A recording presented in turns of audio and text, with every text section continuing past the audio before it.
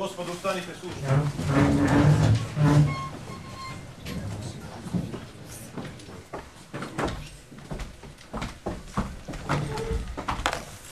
Sjedite.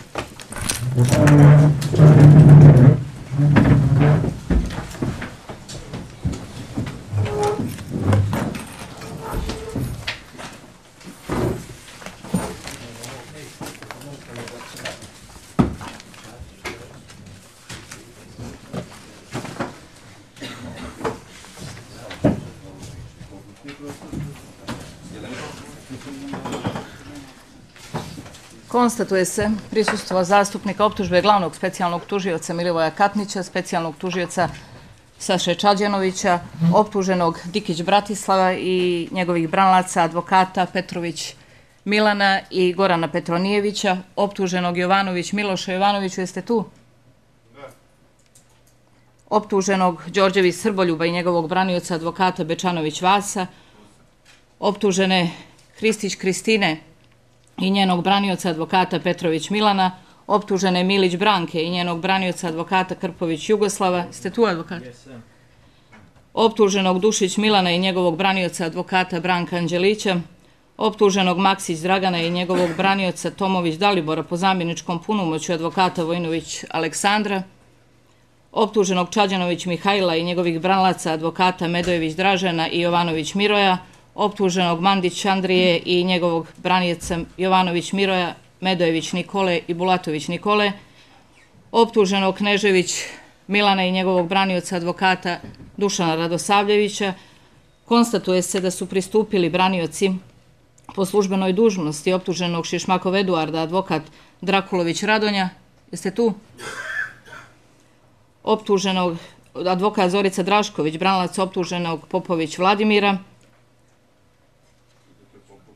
branlac optuženog Bogićević Predraga Ilija Boljević po zamjeničkom punomoću Dorutović Tamare i branlac optuženog Ristić Nemanje, advokat Dubak Mladen. Konstatuje se da na pretres nisu pristupili optuženi Šišmakov Eduard Popov Vladimir, Bogićević Predrag i Ristić Nemanja, kojima se sudi u osustvu, shodno rešenju krivičnog vijeća ovog suda KVS 95 kroz 17 od 13.6.2017. godine. Kako su ispunjene procesne pretpostavke da se pretres održi, sud donosi rešenje. Glavni pretres će se održati. Predsjednik vijeća otvara zasjedanje, objavljuje predmet pretresa i sastav vijeća. Predmet ovog glavnog pretresa je optužnica specijalnog državnog tužilaštva KTS BR 271 kroz 16 od 13.4.2017. godine koja je podnijeta protiv 14 lica zbog više krivičnih dijela. I to, stvaranje kriminalne organizacije iz člana 401a stav 1 krivičnog zakonika, Crne Gore, krivičnog dijela terorizma u pokušaju i krivičnog dijela pripremanja dijela protiv ustavnog uređenja i bezbjednosti Crne Gore izvršenog putem postrekavanja iz člana 373 stav 1 u vezi člana 24 stav 2 krivičnog zakonika Crne Gore.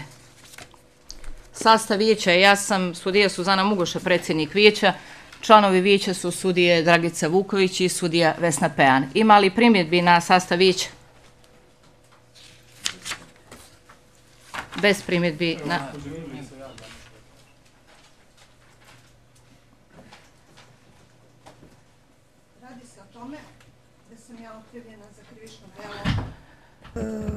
iz člana 401a stav 2 u vezi stava 1 e, i 6 krivičnog zakona Crne Gore. U optužnici uopšte nije naznačeno e, mesto, vreme... Samo da vam kažem, to ćete iznijeti u svojoj odbrani. Ja sam samo pitala sada da li ima primjedbi na sastav ovog sudskog vijeća koje je određeno da sudi. Imate li tu primjedbi? Imam primjedbu. Recite. Smatram da uopšte nemamo mogućnost pristupa pravdi u krivično-pravnom sistemu Crne Gore. E, to se isto odnosi na ovo sudsko veće iz razloga što je predsjednik ovog sudskog veća bila član sudskog veća kada se odlučivalo o mom pritvoru, gde je 20.10.2016. godine doneto rešenje gde se ja osnovano sumnjičim i za terorizam u pokušaju, a dan ranije, 19.10.2016. godine, pokrenuta je naredba o sprovođenju istrage, gde ja uopšte se ne dovodim u vezi sa tim krivičnom delom. E, čak šta više, u tom rešenju Višeg suda... Da ne komentarišemo rešenja, samo da vas pitam, e, da li vi stavljate predlog za izuzeće nekog člana vijeća i kojeg?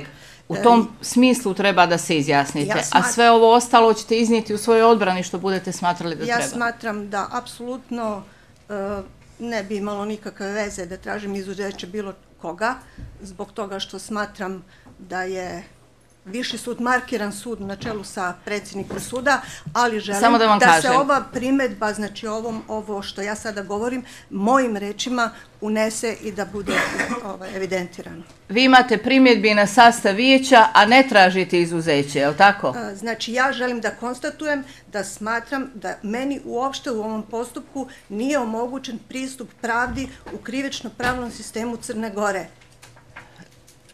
morate da razumijete ono što vas pitam i da konkretno odgovarate. Znači, u ovom trenutku ne pričamo, niti vas pitam ovo o čemu vi govorite. Pitam vas, da li imate primjedbi na sastav vijeća, odnosno da li imate predloga za izuzeće nekog od članova vijeća da bismo mogli da krenemo i da pričamo o svemu ovome što vi sada govorite? Ja sam rekla jasno da smatram da je viši sud na čelu sa njegovim... Imate li primjedbi na sastav vijeća? Rekla sam da imam primjedbi, ali neću tražiti izuzeće. Imam primjedbi na sastav vijeća, ali neću tražiti izuzeće bilo kojeg člana vijeća. Tačno. Sjed.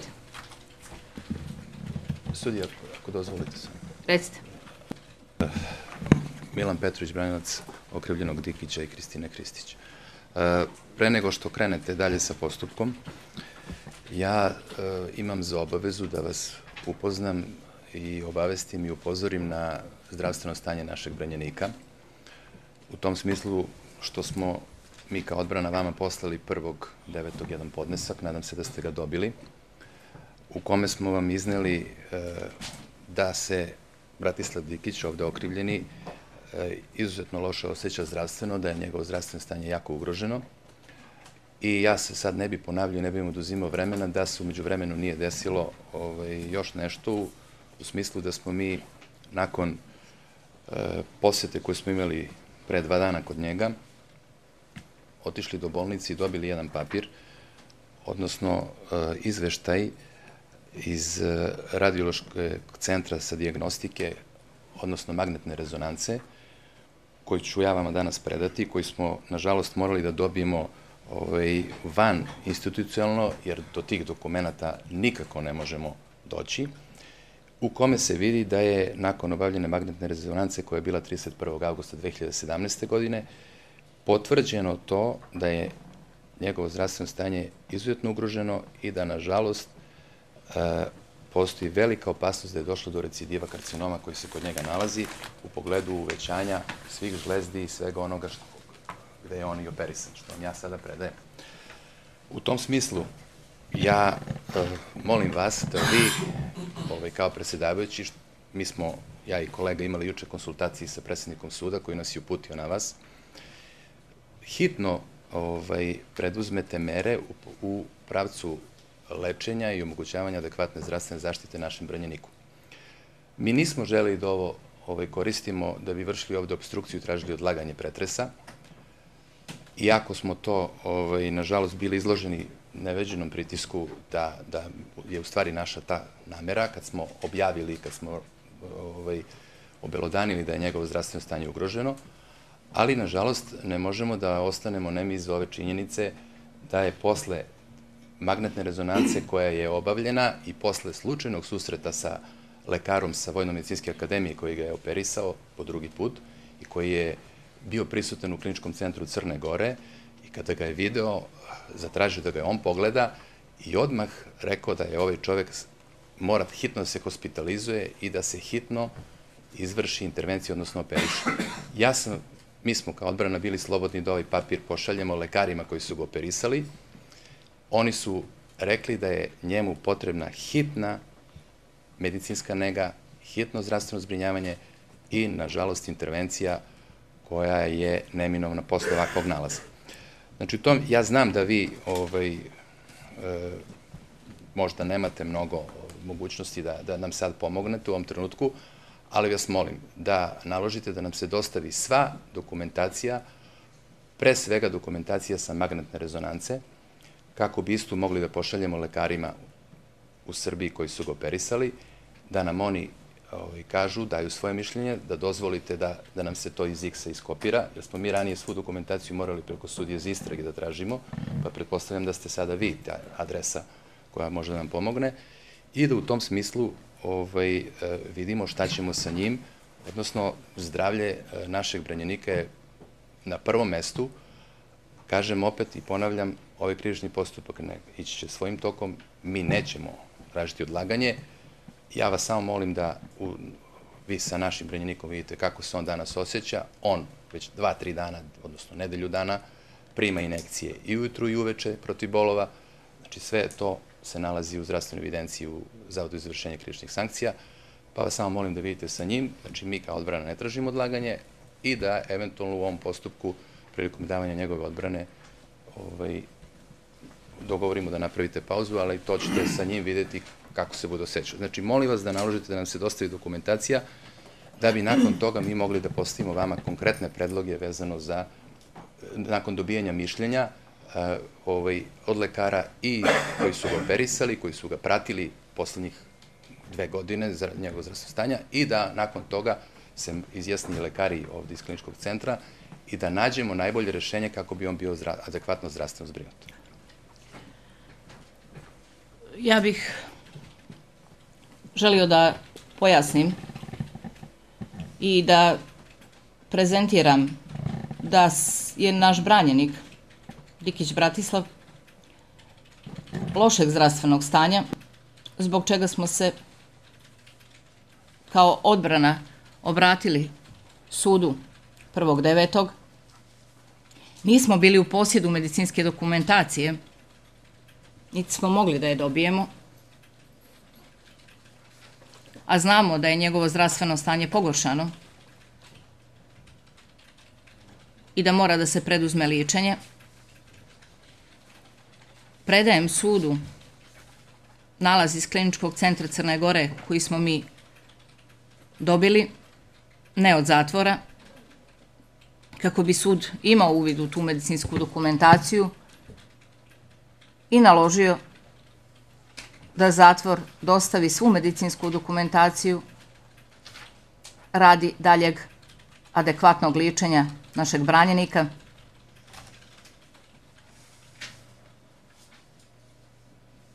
Također smo obavili razgovor sa predsjednikom suda koji, je, koji nas je uputio na predsjednika vijeća oko ovoga o čemu sam govorio.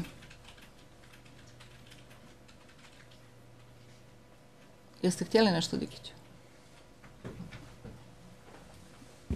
Poštovana predsjednice veće, ja ne želim da moje zdravstveno stanje utiče na tok ovog postupka, tako da ću, koliko god bude sposoban, pratiti sudski postupak, učestvovati i učiniti sve da se razotkri i raščisti ova situacija u ovoj neosnovnoj optužnici protiv mene. Možete danas da date svoju odbranu, je li tako? Tako je. Da.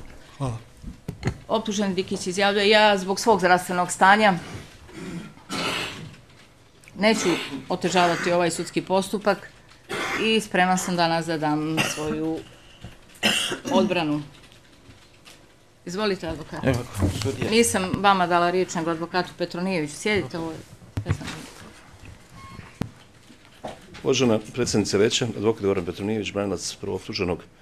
Ovo što je kolega Petrović iznao, nažalost je tačno i o tome će lekari reći svoju reč. Dakle, mi nismo stručni da o tome sudimo, ali indicije imajući u vidu njegovo prethodno zdravstveno stanje i sve ono što se događalo kod njega unazad godinu, godinu i po dana, odnosno malo više, ukazuje da ovakve promene sa velikim procentom verovatnoće mogu biti recidiv onoga što se njemu dogodilo.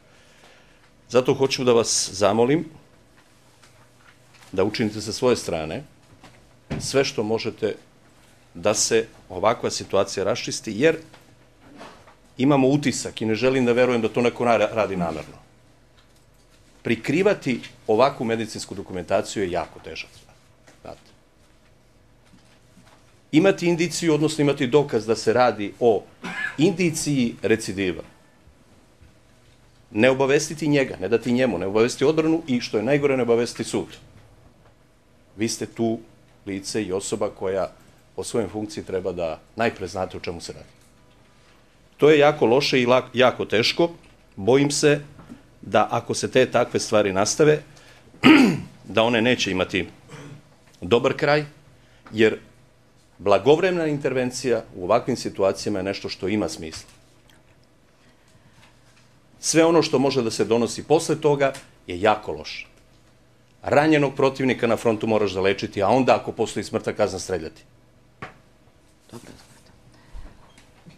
Želim samo da kažem da je moj utisak i moga kolege da se ovdje želi prikriti medicinska dokumentacija i stvarno stanje moga branjenika, jer ako se ovdje radi o recidivu njegove bolesti, neophodna je brza i pravovremena reakcija.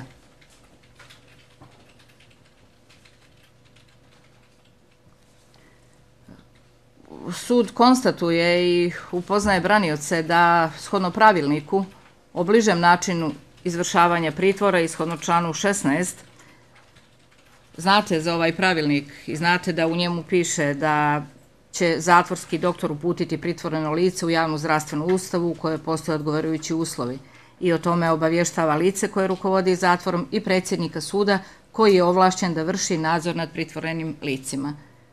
Ja kao predsjednik Vića sam dobila samo obavještenje da je Dikić odveden u klinički centar i vraćen. Nisam dobila nikakvu medicinsku dokumentaciju. Čula sam. Glavni... Sad, u ovoj fazi. Recite, da čujem. Da čujem. Ja samo da izađem sudija, to mi je glavni problem. Advokat Miro Jovanović, branilac nevin optuženih Čađenovića i Mandića. Zvužno poštovanje suda, ja sam ovde dono najneophodniji deo spisa koji mi treba da pratim odbrane ostalih i naravno i mojih branjenika, da kasnije postavljam pitanje o postupku. Ja sudija ovde ne mogu da radim nema priključka za struju, da može se koristiti laptopa, pa da možemo otvorimo elektronski. Ne mogu ovdje da izvodim ni dve fascikle.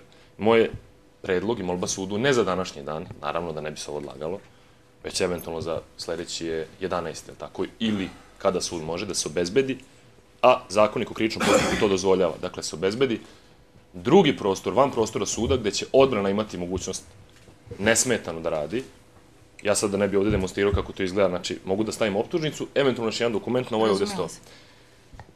E, također da nam se službeno od strane veća odobri upotreba laptopova ovdje u sudnici, da bi se lakše i jednostavnije radilo.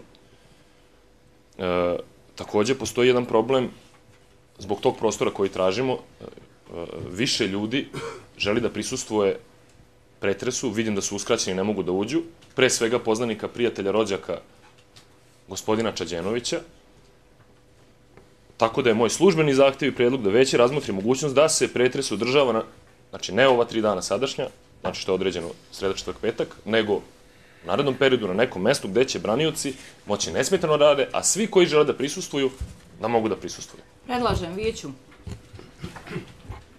da razmotri mogućnost da se ovaj pretres održava u nekoj prostoriji gdje ćemo imati više prostora. Prvo ja kao branilac, jer ovdje gdje sjedim ne mogu da otvorim laptop i ne mogu da izvadim spise predmeta. Također i veliki broj ljudi nije mogao da uđe koji su htjeli da prate ovo suđenje, radi se o prijateljima i porodici mojih branjenika. Sjeta. I pitanje samo... Izvina sudija, kratko pitanje za veće, da vidimo kada, kada ste mislili procesne predloge vezane za pritvor, nama vrlo važnu stvar. Nismo ni počeli advokat. Ja se potpuno slažem. Imate danas ali ako... čitav dan kad vi budete smatrali da treba, sad sigurno nije moment za to. Ja se sudija potpuno slažem, ali o tome izgleda nikad nije moment. Znači, želim da znam da li će nam biti danas omogućeno da govorimo o pritvoru, da iznosimo. Vi imate pravo da predložite. U redu, hvala sudija. Neće vam ništa biti onemogućeno. Zahvaljujem. Evo samo da krenemo da bismo mogli da Imate i vi nešto tehničke prirode, ja? Izvolite. Dušan Rosavljević, branilac Milana Kneževića. Uvažena predsjednice Veća, e, želim da, da, da vam kažem sljedeću stvar. Vi ste doneli 30. augusta rešenje koje 1. septembra ove godine primio moj branjenik, kojim je odbijena njegova molba za prinovo vraćanje putne isprave. Moram da primetim da je rok odlučivanja bio više maltene mjesec dana, tako da mogu da, da, da istaknem da je praktično to rešenje svojvrstni cinizam, zato što uh, je, je odlučeno na dva dana pre početak suđenja. Ovom prilikom želim da vas obavestim da nećemo naravno ulagati žalbu na to, reše, na to rešenje koje ste doneli jer je potpuno deplasirano. I nećemo tražiti naravno ni, ni odlaganje današnjeg glavnog pretresa, iako želim da napomenem 20. jula, kada ste donali rešenje o odlaganju... Da vam kažem, advokate, moram vas prekinuti. Što se tiče tog rešenja, ovdje sad niti je vrijeme, niti je moment o tome da pričam. Vi ste dobili rešenje, imate pravo žalbe. Ja sam rekao se nećemo žaliti. Ja sam rekao da se nećemo žaliti. Krivično vijeće je sad nadležno da odlučuje o svemu tome o čemu vi sad govorite. Tako da nema potrebe da opterećujemo sad pretres tim činjenicama. Želim Sve samo, to što smatrate da nije u redu, da kažem, imate pravo da... Vi ste prošli put odložili glavni pretres između, između ostalog, pored zakta izuzeće i zbog mog predloga da se meni obezbedi vreme za radi pripremanja odbrane. Ja sam to pokušao da uradim koliko je god bilo moguće, ali sam zaključio da, da nisam raspolagao ne samo ja, nego i drugi branici sa dokumentacijom koje se nalazi u spisima ovog predmeta. Smatram da je to veliki problem, znači e, da, da tužiloštvo i, i odbrana nemaju ravnopravnu e, e, poziciju u ovom postupku. Osim toga, danas smo, ne znam da li ste informisani, predali novu molbu mog branjenika za prirodno vraćanje putne isprave radi, put, radi puta u Rusiju. Želim samo da kažem da sud nije na vrijeme odlučio o zahtjevu moga branjenika za povraćaj putne isprave. Također da smo u neravnopravnom položaju tužilac i odbrana jer nismo imali kompletne spise predmeta. I da je moj branjenik danas ponio, ponovo podnio predlog za vraćanje putne isprave, a ne znam da li ste upoznati sa tim. Odgovorila sam već ovo vezano za rešenje o odbijanju povraćaja putne isprave. Što se tiče spisa predmeta, ja sam 7. juna zadužila ovaj predmet. Pismenim podneskom je jedino advokat Goran Rodić tražio kompletne spise predmeta do momenta dok smo počeli da sudimo Nakon toga se obratio advokat Miro Jovanović i ni jedan drugi branlac nije meni kao predsjedniku vijeća podnio zahtjev za kopiranje i uvid u spise predmeta. Onaj advokat koji je tražio, dozvoljeno mu je sve. Kao što i piše u zakonu o krivičnom postupku, nakon potvrđivanja optužnice, mogu da se kopiraju i vrši uvid u kompletne spise predmeta. Završili smo s tim. Glavni pretres je javan. Čitaju se. Sudije. Ja, meni ste uskratili riječ. Ja sam se prvi, ovaj, prvi javio za riječ, ali mi niste dozvolili. Aj, mislim da je jako korisno.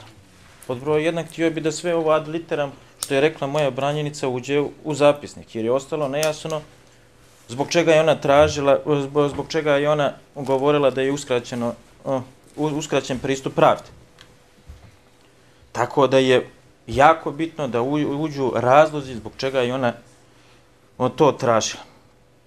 Druga stvar, ovaj, još jedna bitna e, činjenica za ovaj postupak i predlažem da se ovaj da se ovaj optužnica odbaci iz razloga zato što je Advokate, u kojoj fazi postupka tražite? Pa imam sad, sad ću da vam kažem i, za, i zašto traži. Recite. Ovako.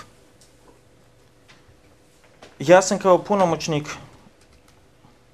moje branjenice u ovom predmetu, a u ovom, u drugom predmetu koji se odvija pred osnovnim sudom u Podgorici podnio optužni predlog protiv ovde Milovoje Katnića, glavnog specijalnog državnog e, tužioca Crne Gore, zato što je izvršio krivično dijelo sprečivavanje dokazivanja iz člana 390 stav 1 krivičnog zakonika Crne Gore i krivično dijelo iznuđivanja iskaza iz člana 166 stav 1 na štetu moje branjenice i podnio sam znači čiji optužni predlog da je izvršio krivično dijelo povreda tajnosti postupka iz člana 391 stav 1 krivičnog zakonika i krivično dijelo lažno prijavljivanje iz člana 388 stav 1 krivičnog zakonika. Ovaj predmet se nalazi u radu kod sudije Nenada Vujanovića pred, o, pred osnovnim sudom. Ovaj, ovde ovaj, glavni specijalni e, tužilac je mojoj branjenici 22. Advokate, optužni predlog vaš podnijet protiv nekog drugog lica nije predmet ovog postupka. Pa I uopšte, je, jeste, ali je jako bitan, ovaj, je, jako, jako je bitan za rešavanje ovog, rešavanje ovog postupka. Predstavlja čak i pravno pitanje. dobro, koji je vaš konkretan, Prethodno- imate li vi konkretan neki predlog? Nemojte mi čitati optužni predlog i Pa je moram, za znači, djelo. m, ovaj, Šta moram, predlažete vezano ja za to? Imate li procesni ova, predlog? Znači, ja predlažem da se ova optužnica odbaci. Dobro. Jeste. Ja predlažem da se ova optužnica odbaci iz razloga što sam podnio optužni predlog protiv specijalnog, glavnog specijalnog tužioca. A i takođe, Jeste, da se navede zbog čega sam ja to tražio. Koja je, zbog, zbog čega imam u redu, osnovanu vaš je predlog da se optužnica odbaci. Sjedite. Pa imam, jo, imam ja još ovaj... Advokate, nije sad moment Jeste, gdje vi i- predlažete, Pa ne znam, imam, znači Je- još jedan ovaj... a, tražite li vi izuzeće? ne tražim ja vaše Pa, izuzeće, sjedite, ali ne, o, sudija. Tražite li izuzeće tužioca? Ali ja, ovaj, ja tražim sudija da mi omogućite da govorim. A imam još, jed, imam još jedan predlog koji je jako bitan, ovaj, bitan za ovaj postupak. I da ukažem na neke ovaj nezakonitosti koje su očigledne. Mi danas raspravljamo o optužnici, a još nismo utvrdili na zakonit način identitet prvo okrivljenog i dr drugo okrivljenog. Advokate, Identitet- da vas prekinem, morat će pročitati zakon o krivičnom postupku. Je- Sad nije prilika da o Jest, tome govorite. Uvijek je prilika. Sjedite. Ja želim da ukažem da mi raspravljamo o optužnici u kojoj nije ni utvrđen identitet prvog i drugog optuženog. Imate li tu predlog? Imam, o, imam predlog, znači, baš zbog ovog razloga da se obustavi ovaj postupak. I Jer mi predlažem danas- da se ob- postupak obustavi. Sjedite, advokat, pa ćemo u toku postupka dalje sve što treba. Sudija predlog, samo za pravce, za spis. Nisam, evo sad sam tek izvodio spise, pa nisam siguran, nije, izvinjam se. Koji predlog, advokat? Smijem da kažem. Mi nismo počeli, evo nismo optužnicu Može da se pročitali. uloži sudija u spis, valjda evo sad sam i uspio da ga izvodim. Biće na vrijeme ćete biti. Sjedite sad, idemo redom po ZKP-u, onemogućilo- zato što Evo, se sad ne predlažu dokazi, nikakvih advokat. predlaganja, ide sve. Ali sad nije faza predlaganja dokaza, treba da čitamo optužnicu. celom. Ovo nije parnični postupak da predlažemo i donosimo podneske. Daću vam priliku da predložite kad bude vrijeme za to. parnični? Kolegi ste sad uzeli reč, Sjedite, advokate. Nije sad vrijeme za to. sudija i to molim vas, samo tehnički. Ja vas poštujem, izvinjam, samo okej, okej. Ja vas poštujem. Ovo nije dokazni predlog. Ovo je dokumentacija za spis. Ali Dakle, sad nije vrijeme da mi je vreme je predajete, pre- ja ću je uzeti. optužnice. Kad I sad bud- vi mene terate da svaki put pred pretres dajem podnesak ovde. A to neću da radim. Vi kažete nije parnica, naravno da nije parnica, niko nije ovde malo dete i svi smo položili pravosudne ispite. Znam da nije parnica, ovo nije dokazni predlog. Ovo je A šta hoćete s tim u ovoj fazi postupka? da vam ovo mora da dođe u spis predmeta da biste mnogo lakše pratili tok postupka. Veće, branioci i tužilac. Ja vam kažem, nije sporno, predaćete ga, ali ne sad, sačekajte. Nije sad vrijeme za to. Ovo je Sjed- 15. put da nam danas kažete da nešto nije vreme. Ništa nije sporno, evo tu smo, niko ne beži od suđenja. Sudi, izvinjam se, e, Milan Petrović, ja imam samo jedan predlog, ako bi mogli da se ovde svi saglasimo, da ne čitamo optužnicu, s obzirom da smo mi imali ročište ovaj, o optužnici, kolega je onda čitao, optužnica ima preko 130 stan, strana, zdravstveno stanje mog branjenika nije baš tako da on sad dva sata sluša ovde optužnicu, svi je znamo, ako bi mogli da se dogovorimo da je ne čitamo, da krenemo odmah na, na davanje odbrana. Eto, samo to je predlog. Advokat Petrović predlaže da se optužnica ne čita, obzirom da su svi upoznati sa istom kako bismo skratili vrijeme.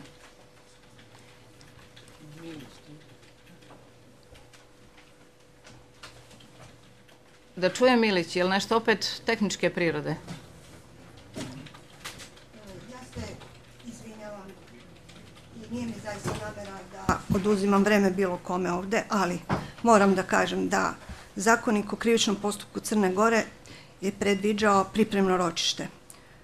E, Profesor doktor Milan Škulić, profesor pravnog Odmah da vas prekinem. Ta faza postupka je završena. Bila, ne bila. Ako znači- imate nešto konkretno, E, ja- kasnije ćete o svemu tome razgovarati. Sad nije vrijeme za to. Sjedite, Milić. Samo dozvolite da kažem, želela sam da ukažem na neustavnost odredaba ZKP-a, na primjer.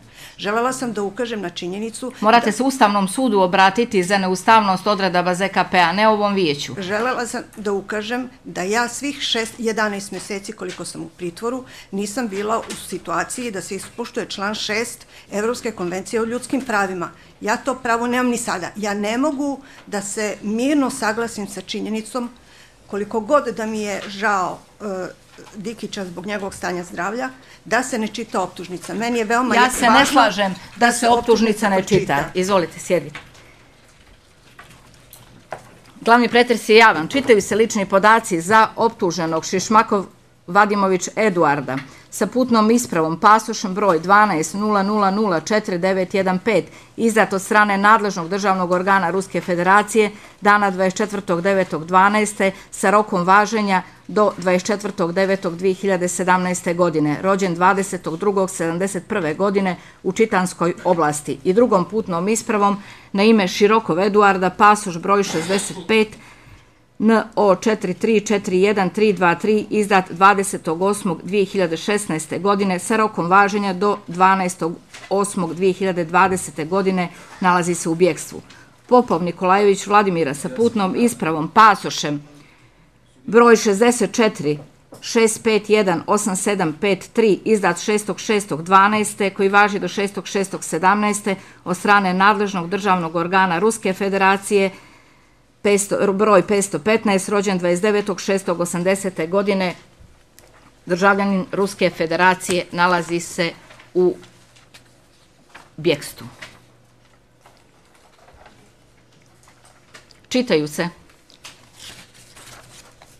lični podaci za optuženog Bogićević Predraga, od oca Slobodana i majke Mirjane, rođene Nikolić, rođen 6.7.70. godine u Kragujevcu, gdje i prebiva, ulica Radivoja Čipranova, broj 6, državljani Republike Srbije. Čitaju se lični podaci za optuženog Ristić Nemanju, od oca Miodraga i majke Radmile, rođen 5.6.73. godine u Beogradu, gdje i prebiva, ulica Volgina, broj 2, državljanin Republike Srbije. Pred sudom je optuženi Dikić Bratislav sa Dikiću. Hoćete prići ovdje? Možete li od oca Ratomira i majke Mirjane, rođene Petrović, rođen 19.5.70. u Nišu, gdje i prebiva ulica Konstantina broj 30, državljanin Republike Srbije u pritvoru od 16.10.2016. godine. Jesu tačni ovi podaci, Dikiću? Jesu, Sa podacima kao u spisima predmeta, s tim što dodaje. Koju školu ste završili? Ja sam doktorirao na managementu, inače sam profesor visoke škola bezbednosti. Profesor Visoke škole bezbjednosti, doktorirao na menadžmentu. Kakve su vam porodične prilike? Ste oženjeni? Jest, oženjen, Oženjen? Imate li troje djece? djece, Otac, troje djece. Što ste po narodnosti, Dikiću? Srbin, Po narodnosti Srbin. Kakvog ste imovnog stanja? srednjeg. Srednjeg imovnog stanja. Jeste osuđivani? Ne, Neosuđivan. Vodili se neki drugi postupak protiv vas?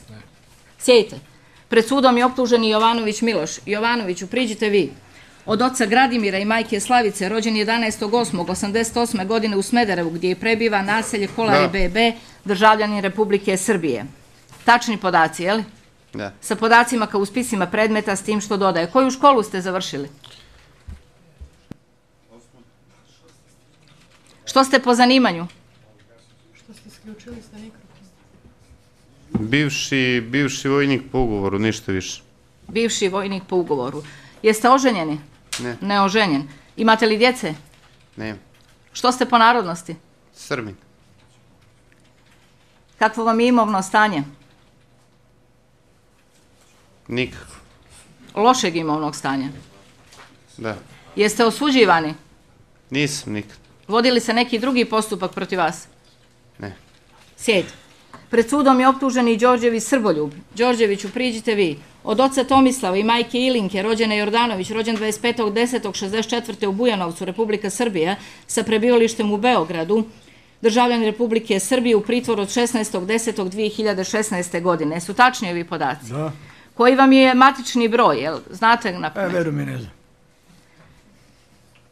Ne znam na pamet svoj matični broj. Zaboravio si. Koju školu ste završili? Osnovnu i tekstilni krojač. Nisam vas čula. Osnovnu školu i tekstilnu krojač ili ne znam kako kaže. Završio sam osnovnu školu i tekstilnu školu za krojača. Da, Što ste po zanimanju? krojač i šnajder, ne znam kako se kaže kod vas ovde. Kako vi kažete? Advokati, morate malo tiše ako imate neki dogovor, jer vas čujem. Ne. Pitate nacionalnost ljude, ne vidim to nigdje. Neka pita, nisam umijeni, ja sam to se ne Kakve su vam porodične prilike? Ste oženjeni, neoženjeni? Jesam oženjen. Što ste po narodnosti? Srbin. Kakvo vam je imovno stanje? Loše. Lošeg imovnog stanja. Jeste osuđivani? Nikada. Vodili se neki drugi postupak protiv Nikada. vas? Dobro. Sjedite. Hvala. Pred sudom je optužena Hristić Kristina. Izvolite vi. Od oca Radislava i majke Radmile, rođena Jovanović, rođena 4.5.77. u Paraćinu, sa prebivalištem u Beogradu, ulica Jovana Rajića, 2A, državljanka Republike Srbije. Jesu tačni ovi podaci? Jesu. Koji je vama matični broj? E, 0405 Može? e, 0405 e, 9777 28711. Ako je tako. Koju školu ste završili? E, Fakultet primjenjenih umetnosti, diplomirani scenograf za TV, pozorište i film. Završila fakultet primjenjenih umjetnosti. Što ste po zanimanju? Diplomirani scenograf, Čime se bavite? e, bavim se uređenjem interijera, imam salon za opremanje interijera. Što ste, e, porodične prilike, jeste udati ili niste? Neudata. Ne udata. Po narodnosti? Srpkinja. Imovno stanje? Srednje. Jeste osuđivani? Ne. Vodili se neki drugi postupak Ne. protiv vas? Sjedite. Pred sudom je optužena Milić Branka. Milić od oca Jova i majke Milice, rođene Rakičić, rođena 17.10.55. u Varaždinu, Republika Hrvatska, sa prebivalištem u Novom Sadu, ulica Veselina Masteše, broj 38, državljanka Republike Srbije, penzionerka, razvedena, majka jednog punoljetnog djeteta, završila srednju građevinsku školu lošeg imovnog stanja. Su tačni podaci? Da. Jeste osuđivani? Nikada. Vodili se neki drugi postupak protiv vas? Ni prekršajni, nikada. Dobro. Sjedite. Pred sudom je optuženi Dušić Milan. Dušiću, izvolite. Od oca Živodraga i majke Milke, rođene Moravčević, rođen 6.9.57. u Beogradu, sa prebivalištem u Beogradu, opština Grocka, ulica 1. maja, broj 15, državljani Republike Srbije. Su tačni ovi podaci? Tačno. Koju školu ste završili? Bravar, srednju. Što ste po zanimanju? Bravar. Oženjeni? Ne. Po narodnosti? Srbin. Imovno stanje? Loš. Jeste osuđivani? Nikada. Vodili se neki drugi postupak protiv Ne. vas? Ne. Sjedite. Pred sudom je optuženi Maksić Dragan. Od oca Milorada i majke Tihoslave, rođene Stanković, rođen 17.7.66. u Bujanovcima, sa prebivalištem u Beogradu, ulica Lole Ribara, broj 10, državljani Republike Srbije u pritvoru od 16.10.16. Jesu tačni podaci? Sa podacima kao u spisima s tim što dodaje. Znate li vi vaš jedinstveni matični broj? Ne. Ne znam svoj jedinstveni matični broj. Koju školu ste završili? Četvrti stepen tehnolog tehničar. Što ste po zanimanju? Keramičar. Jeste oženjeni? Jesu. Imate li djece? Imam jednog sina. Po narodnosti? Srbin. Imovno stanje? Lošeg. Nemojte da razgovarate i nemojte da se smijete. Vas dvojica. Nema potrebe za tim. Još ćete nam sad određati, možemo li gestikulaciju da napravimo?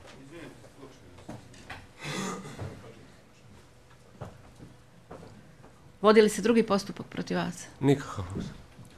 Sjedite. Pred sudom je optuženi Čađanović Mihajlo. Čađanović, izvolite. Od oca Miljana i majke Milke, rođene Savović, rođen 31.7.82. godine u Podgorici, gdje i prebiva ulica Tripa Kokolja, broj 1, državljanin Crne Gore, po zanimanju saobraćajni tehničar, neoženjen, završio srednju saobraćajnu školu, slabog imovnog stanja, neosuđivani su. Tačni podaci? Tačni su. Dobro, što ste po narodnosti? Srbi. Dobro. Sjed. Pred sudom je optuženi Mandić Andrija. Mandiću. Od oca Vlatka i majke Nove, rođene Jeknić, rođen 19.1.65. u Šavniku sa prebivalištem u Podgorici, ulica Slavonska, broj 18, državljanin Crne Gore, po zanimanju diplomirani inženjer, oženjen otac dvoje djece srednjeg imovnog stanja. Su tačni podaci? Nisu. Majka mi nije nova, nego novka. Sa podacima kao u spisima s tim što ispravlja da mu je ime majke Novka. A ne nova, kako ste vi rekli. Piše majke Nove, čitam ono što piše. Ne znam šta piše, ali da ispravim. Ostali podaci su tačni. Sve ostalo tačno. Jedinstveni matični broj. 19.01 965 210 254. Što ste po narodnosti? Srbin. Jeste osuđivani? Ne. Vodili se neki drugi postupak protiv vas?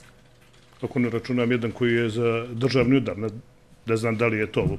Mimo ovog Postoji krivičnog postupka, presuda. da li ima još neki drugi Ne. krivični postupak koji se vodi protiv vas? Ne da ja znam. Protiv mene se ne vodi ni jedan drugi krivični postupak da ja znam. Evo odgovara on, ja sam vrlo jasno pitala, nema potrebe da... Zbog toga što je u tom predmetu donijeta oslobađajuća presuda. Dobro, ovo je njegovo izjašnjenje. Sjedite, Mandiću. Pred sudom je optuženi Knežević Milan. Od oca Dragiše i majke Ratke, rođene Mišković, rođen 24.3.80. u Podgorici, gdje je i prebiva Mojanović i BB, državljanin Crne Gore, profesor srpskog jezika i književnosti, neoženjen srednjeg imovnog stanja. Su tačni podaci? Potpuno tačni. Jedinstveni matični broj? Uh, 2403 9802 12968. Samo malo, samo malo. 24? 2403 980 Dobro. 21 Dobro. 29 68. Lako se pamti, rođen sam kad su bombardovali Samo Jugoslaviju. ono što vas pitam. Da dobro, pa ja mislim... Što ste po narodnosti? Srbi, naravno. Jeste osuđivani? Nisam. Vodi li se neki drugi postupak protiv Vodi vas? kako ne vodi. Dobro, protiv koga se vodi E, samo drugi da- krivični postupak? Samo da saopštim, znači, jedan se vodi za to što sam uznemirio emocije Nema potrebe, ja vas samo pitam da li Vukovića. se vodi. A ja sam i shvatio da mi pitate što se sve vodi protiv mene. Ja mislim da sam ja bila vrlo jasna i da vas, sam vas pitala da li se vodi drugi. Da ste bili A ne jasni, ja bih kojim jasno povodom. odgovorio. Sjedite. Hvala vam. Shodno članu... Ne može sad, advokate. Recite. Prekršili ste član 100 zakona o krivičnom postupku prilikom uzimanja podataka. Vi ste bili dužni da pitate okrivljene čiji su državljani, a ne koje su nacionalnosti ili narodnosti. Izjašnjenje Advokat nacionalnoj Medović izjavljuje je da je sud intimno pravo svakoga prekršio čovjeka. I vi niste smjeli da pitate ove ljude odredbu šta su člana 100. narodnosti. zato što je pitao optužene što su po narodnosti. Sjedite. Shodno članu 337 stav 2 ZKP-a stranke se upozoravaju da su dužne da svoje predloge o izvođenju pojedinih dokaza saopšte odmah, a najkasnije do završetka glavnog pretresa, te da žalbu iz razloga propisanih u članu 388 stav 2 ZKP-a mogu izjaviti samo ako u žalbi učine izvjesnim da za dokaze na kojima se zasniva žalba nisu znali u vrijeme održavanja glavnog pretresa ili da je na glavnom pretresu odmah čim su saznali za određeni dokaz predložili njegovo izvođenja, a predsjednik vijeća je to odbio. Glavni pretres počinje čitanjem optužnice specijalnog državnog tužilaštva KTSBR 271 kroz 16 od 13.4.2017. Izvolite tužiče.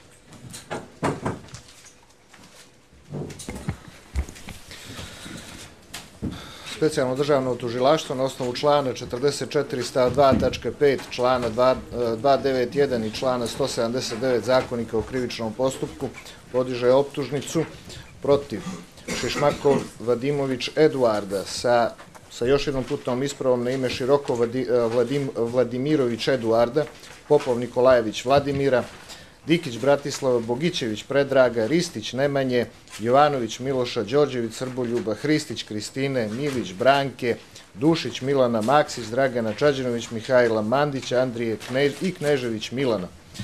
Zato što su okrivljeni Šišmakov Eduard i Popov Vladimir, državljani Rusije u vremenskom periodu od početka 2016. godine do 18.10.2016. godine na teritoriji Crne Gore, Republike Srbije i Rusije organizovali kriminalnu organizaciju koja za cilj ima vršenje krivičnih dijela za koja se po zakonu može izreći kazna zatvora od četiri godine ili teža kazna, u koju su lično ili preko pripadnika vrbovali pripadnike kriminalne organizacije koji su prihvatili članstvo, pa su pripadnici kriminalne organizacije, pored drugih za sada neidentifikovanih lica, postali krajem februara 2016. godine okrivljeni Dikić Bratislav, Mandić Andrije, Knežević Milan, Čađanović Mihajlo i Nikić Ananije, u odnosu na kojeg je postupak razvojen rešenje specijalnog državnog tužilaštva KTIS BR 15-16 od 13.4.2017. godine.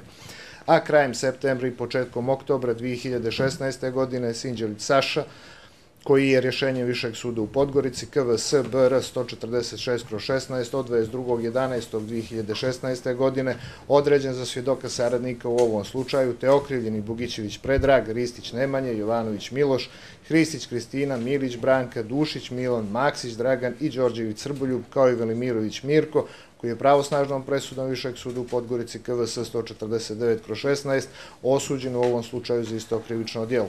Tečurović Aleksandar, Matić Ivica, Đurić Nikola, Četković Siniša i Stanović Dejan, koji su pravosnažnom presudom Višeg suda u Podgorici KVS BR 29 kroz 17 osuđeni u ovom slučaju za isto krivično djelo.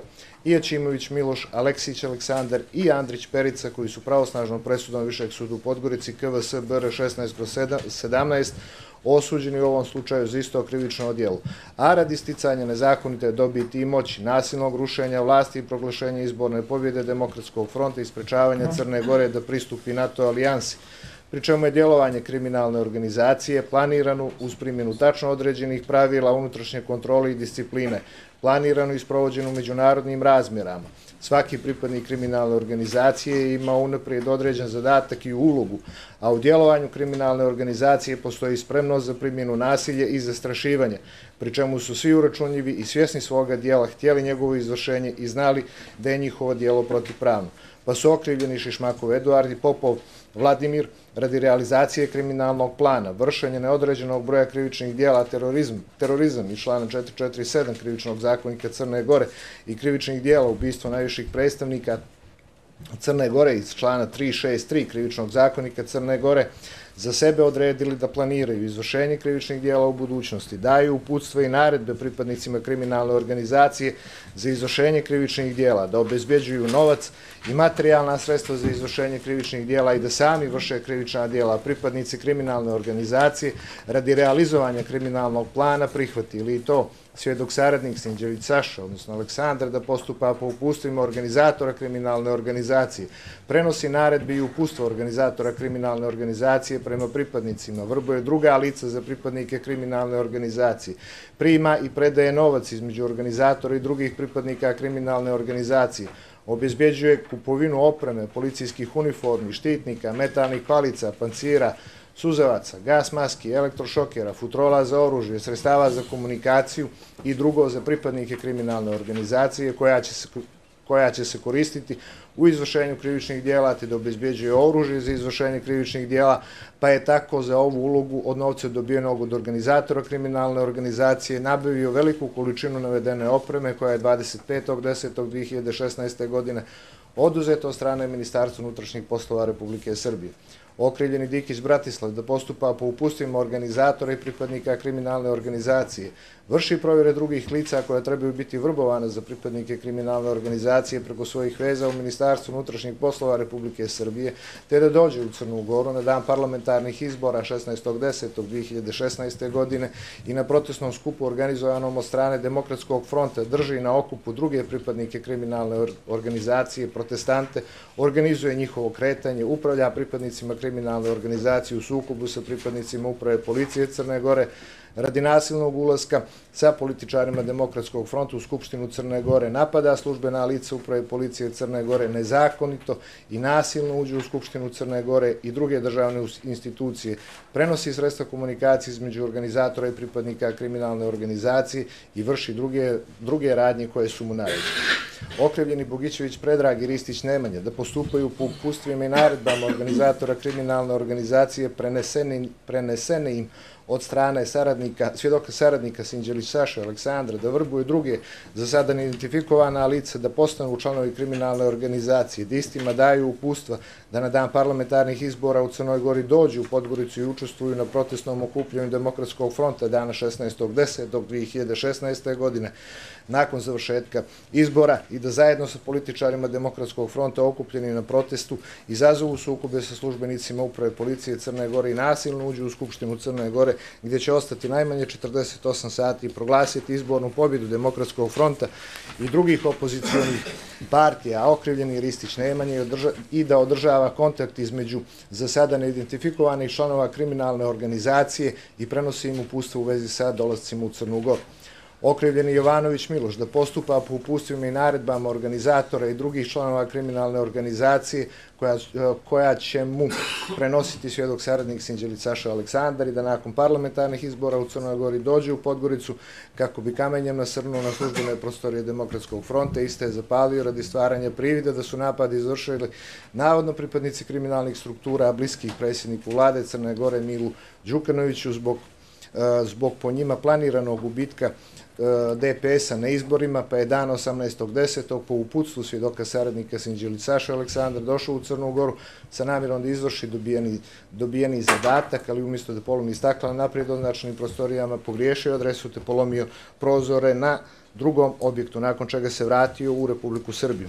Osuđeni Velimirović Mirko, koji je kao pripadnik kriminalne organizacije doprinio otkrivanju same kriminalne organizacije, da primenjuje nasilje, da nabavlja, skladišti i čuva sredstva za izvršenje krivičnih dijela, prije svega oružje i municiju, nabavlja, prenosi i čuva opremu, uniforme koje će se koristiti prilikom izvršenja krivičnih dijela, te da obezbjeđuje prostore u kojima će boraviti drugi pripadnici kriminalne organizacije i čuvati oružje i opremu namijenjenu izvršenju krivičnih dijela, kao i da prenosi poruke i upustva organizatora kriminalne organizacije koja će mu prenositi svjedok sadnik Sinđelicaša, drugim pripadnicima kriminalne organizacije, ali je kao pripadnik kriminalne organizacije doprinio otkrivanju same kriminalne organizacije na način što je nakon prihvatanja kriminalnog plana iznesenog mu strane člana kriminalne organizacije, svjedoka saradnika Sinđelicaša Aleksandra i preuzimanja novca u iznosu od 30.000 eura da za potrebe kriminalne organizacije nabavi i prebaci u Crnu Goru 50 automatskih pušaka i tri sanduka municije koje će smjestiti u kuću koju bi iznajmio u Podgorici,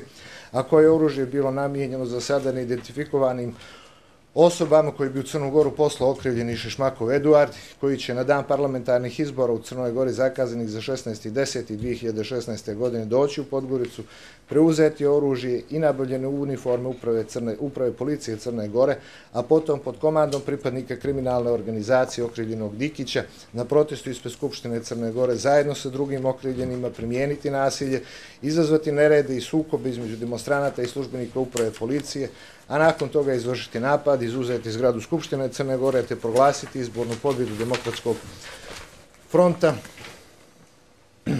i uhapsiti tadašnjeg premijera Crne Gore Milo Đukanović. Došao upravo policije Crne Gore dana 12.10.2016. godine i prejavio plan djelovanja kriminalne organizacije i njene pripadnike i time otkrio kriminalnu organizaciju nakon čega je doprinio, doprinio njenom daljem otkrivanju tako što je službenicima uprave policije Crne Gore saopštavao upustva dobijena od pripadnika kriminalne organizacije Sinđelicaša Aleksandra po kojim upustvima istovremeno i postupao te i saopštavao podatke o identitetu drugih drugih pripadnika kriminalne organizacije koji su došli u Crnu Goru, opisao plan njihovog djelovanja i lokacije na kojima se nalazite, na taj način doprinio identifikaciji i drugih pripadnika kriminalne organizacije, što je pomoglo u njihovom višenju slobode neposredno pri izvršenju planiranih krivičnih dijela. Okrivljena Hristić Kristina, da prenosi poruke između pripadnika kriminalne organizacije, ugovara sastanke između njih i stavlja na raspolaganju sredstva za komunikaciju, mobilne telefone između pripadnika kriminalne organizacije, u koju svrhu i došlo u Podgoricu dana 15.10.2016. godine, gdje je sa svog mobilnog telefona za potrebe okrivljenog Dikić Bratislava ostvarivala telefonsku SMS komunikaciju sa Sinđelić Sašom i Velimirović Mirkom, kako bi okrivljeni Dikić Bratislav preuzeo posebno pripremljeni telefon i ključeva od prostorija gdje se nalazilo pripremljeno oružje kada je lišena slobode okrivljena Milić Branka, da prenosi poruke između pripadnika kriminalne organizacije, ugovara sastanke između njih i stavlja na raspolaganju sredstva za komunikaciju, mobilne telefone između pripadnika kriminalne organizacije, da zajedno sa drugim pripadnicima kriminalne organizacije izaziva neredi i sukobe sa službenicima uprave policije i da nezakonito i nasilno uđe u Skupštinu Crne Gore i druge institucije sa kojim zadatkom je došlo u Podgoricu dana 15.10.2016. godine kada je lišena slobode. Osuđeni Aleksić Aleksandar, Eh, da sa svojim vozilom prevozi pripadnike kriminalne organizacije iz Srbije u Crnu Goru, da iznajmljuje sobe u hotelima i plaća boravak drugim članovima kriminalne organizacije i dočekuje pripadnike kriminalne organizacije u Podgoricu, smješta ih u iznajmljenim prostorijama, te da učestvuju napadima na službena lica uprave policije Crne Gore i nezakonito i nasilno uđe u Skupštinu Crne Gore i druge institucije, pa je u ostvarivanju svoje uloge svojim vozilom marke Citroen Regoznake ŠA 152 TX iz Šapca prevezao osuđene Čurović Aleksandra, Četković Sinišu, Stojanović Dejana i Andrić Pericu, a po dolasku u Podgoricu u mjestu Virpazar dana 15.10.2016. godine iznajmio je prostorije za smještaj osuđenih pripadnika kriminalne organizacije i smjestio ih, nakon čega je po prethodnom dogovoru na željezničkoj stanici sačekao dolazak osuđenih Ačimović Miloša, Matić Ivica i Đurić Nikole koji su iz Republike Srbije u Podgoricu došli vozom, a potom ih, a potom ih prevezao i smjestio u isti hotel da bi potom zajedno sa okrivljeni Stanojević Dejanom svojim vozilom se odvezao u mjesto Ostrograd i susreta i dogovora sa drugim pripadnicima kriminalne organizacije, nakon čega su se vratili u Virpazar, u iznajmljeni smještaj gdje su zajedno sa ostalim pripadnicima kriminalne organizacije, osuđenim Čurović Aleksandrom, Andrić Pericom, Đurić Nikolom, Četković Sinišom, Stanojević Dejanom, Maćimović Milošom, Milošom, Milošem i Matić Ivicom lišne slobode. Okrivljeni, okrivljeni Đorđević Srboljub, Dušić Milan i Maksić Dragan, da zajedno sa okrivljenim, okrivljenom Milić Brankom izazivaju nerede i sukobe i da napadaju službene lica pripadnike uprave policije, nezakonito i nasilno uđu u Skupštinu Crne Gore i druge institucije sa kojim zadatkom su vozom došli u Podgoricu dana 15.10.2016. godine kada su i lišeni slobode. Okrivljeni Nikića Ananije, u odnosu na kojeg je postupak razvoja rešenje specijalnog državnog tužilaštva KTIS BR 15-16 od 13.4.2017. godine, da postupa po upustvima organizatora kriminalne organizacije, vrbuje druga lica za pripadnike kriminalne organizacije koja će učestovati u pripremanju i e, izvršenju krivičnih dijela zbog kojih je kriminalna organizacija istvorena, uspostavlja kontakte sa licima koja treba vrbovati, zakazuje sastanke između pripadnika kriminalne organizacije i lica koja treba vrbovati za pripadnike kriminalne organizacije. Organizuje sastanak između organizatora i pripadnika kriminalne organizacije u inostranstvu radi prenošenja poruka i upustava između pripadnika kriminalne organizacije i vrši druge poslovi i zadatke koji su mu namenjeni od organizatora pa je tako sa zadatkom vrbovanja pripadnika kriminalne organizacije dana 3.3.2016. godine po naredbi okrivljenog Mandića Andrije zajedno sa okrivljenim Čađinović Mihajlom, službenim vozilom koje je dato na korišćenje poslaničkom klubu Nova Srpska demokratija, marke Renault Fluence, registarskih oznaka, PGCG 870, lašništvo Crne Gore, otišao u Beograd gdje je dana 4. i 5. 3. 2016. godine zakazao i održao dva sastanka sa Nikić Slavkom, bivšim službenikom Ministarstva unutrašnjih poslova Republike Srbije, na kom sastanku je prisustovao e, i za sada neidentifikovani pripadnik kriminalne organizacije državljeni Ruske federacije, gdje su od Nikić Slavka zatražili da učestvuju u događajima u Crnoj Gori koji će uzburkati javnost,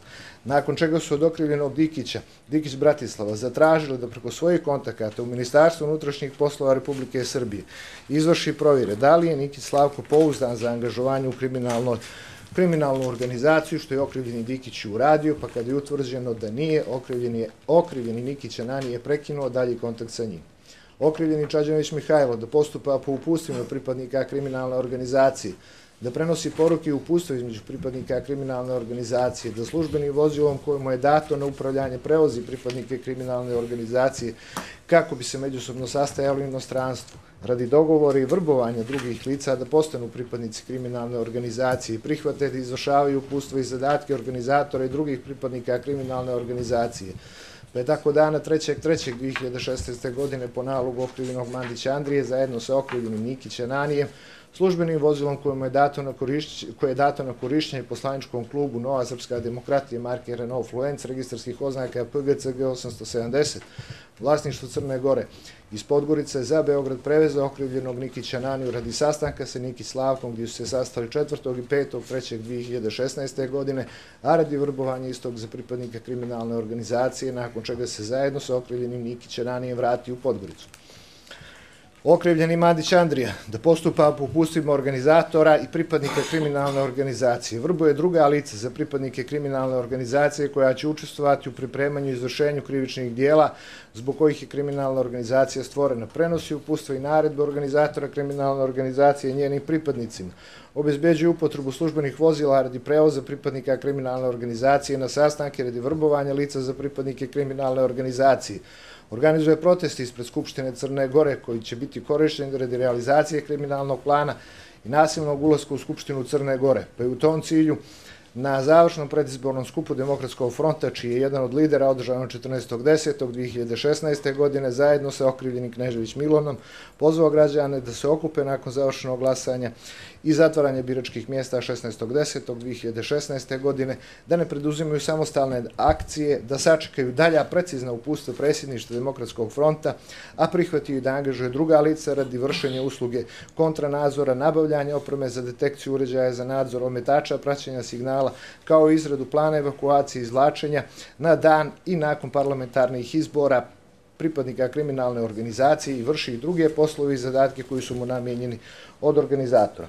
Okrivljeni Knežević Milan da postupa po upustivim i naredbama organizatora i pripadnika kriminalne organizacije, da prenosi poruke, upustve i upustve između pripadnika kriminalne organizacije, održava komunikaciju sa drugim pripadnicima kriminalne organizacije koja se nalazi u inostranstvu, organizuje proteste ispred Skupštine Crne Gore koji će se koji će biti korišćeni za realizaciju kriminalnog plana i nasilnog ulazka u Skupštinu Crne Gore, pa su u tom cilju na, na završnom, pa je u tom cilju na završnom predizbornom skupu Demokratskog fronta, čiji je jedan od lidera održano 14.10.2016. godine, zajedno sa Mandić, okrivljenim Mandić Andrijom, svom završnom govoru obratio građanim, između ostalog saopštio da će nakon održanih izbora 16.10.2016. godine uveče Đukanović biti gotov, da će policija Crne Gore imati posla sa Demokratskim frontom, a prihvatio da angažuje druga lica za izradu planova za evakuaciju i ekstrakciju na dani nakon parlamentarnih izbora pripadnika kriminalne organizacije i vrši druge poslove i zadatke koji su mu namijenjeni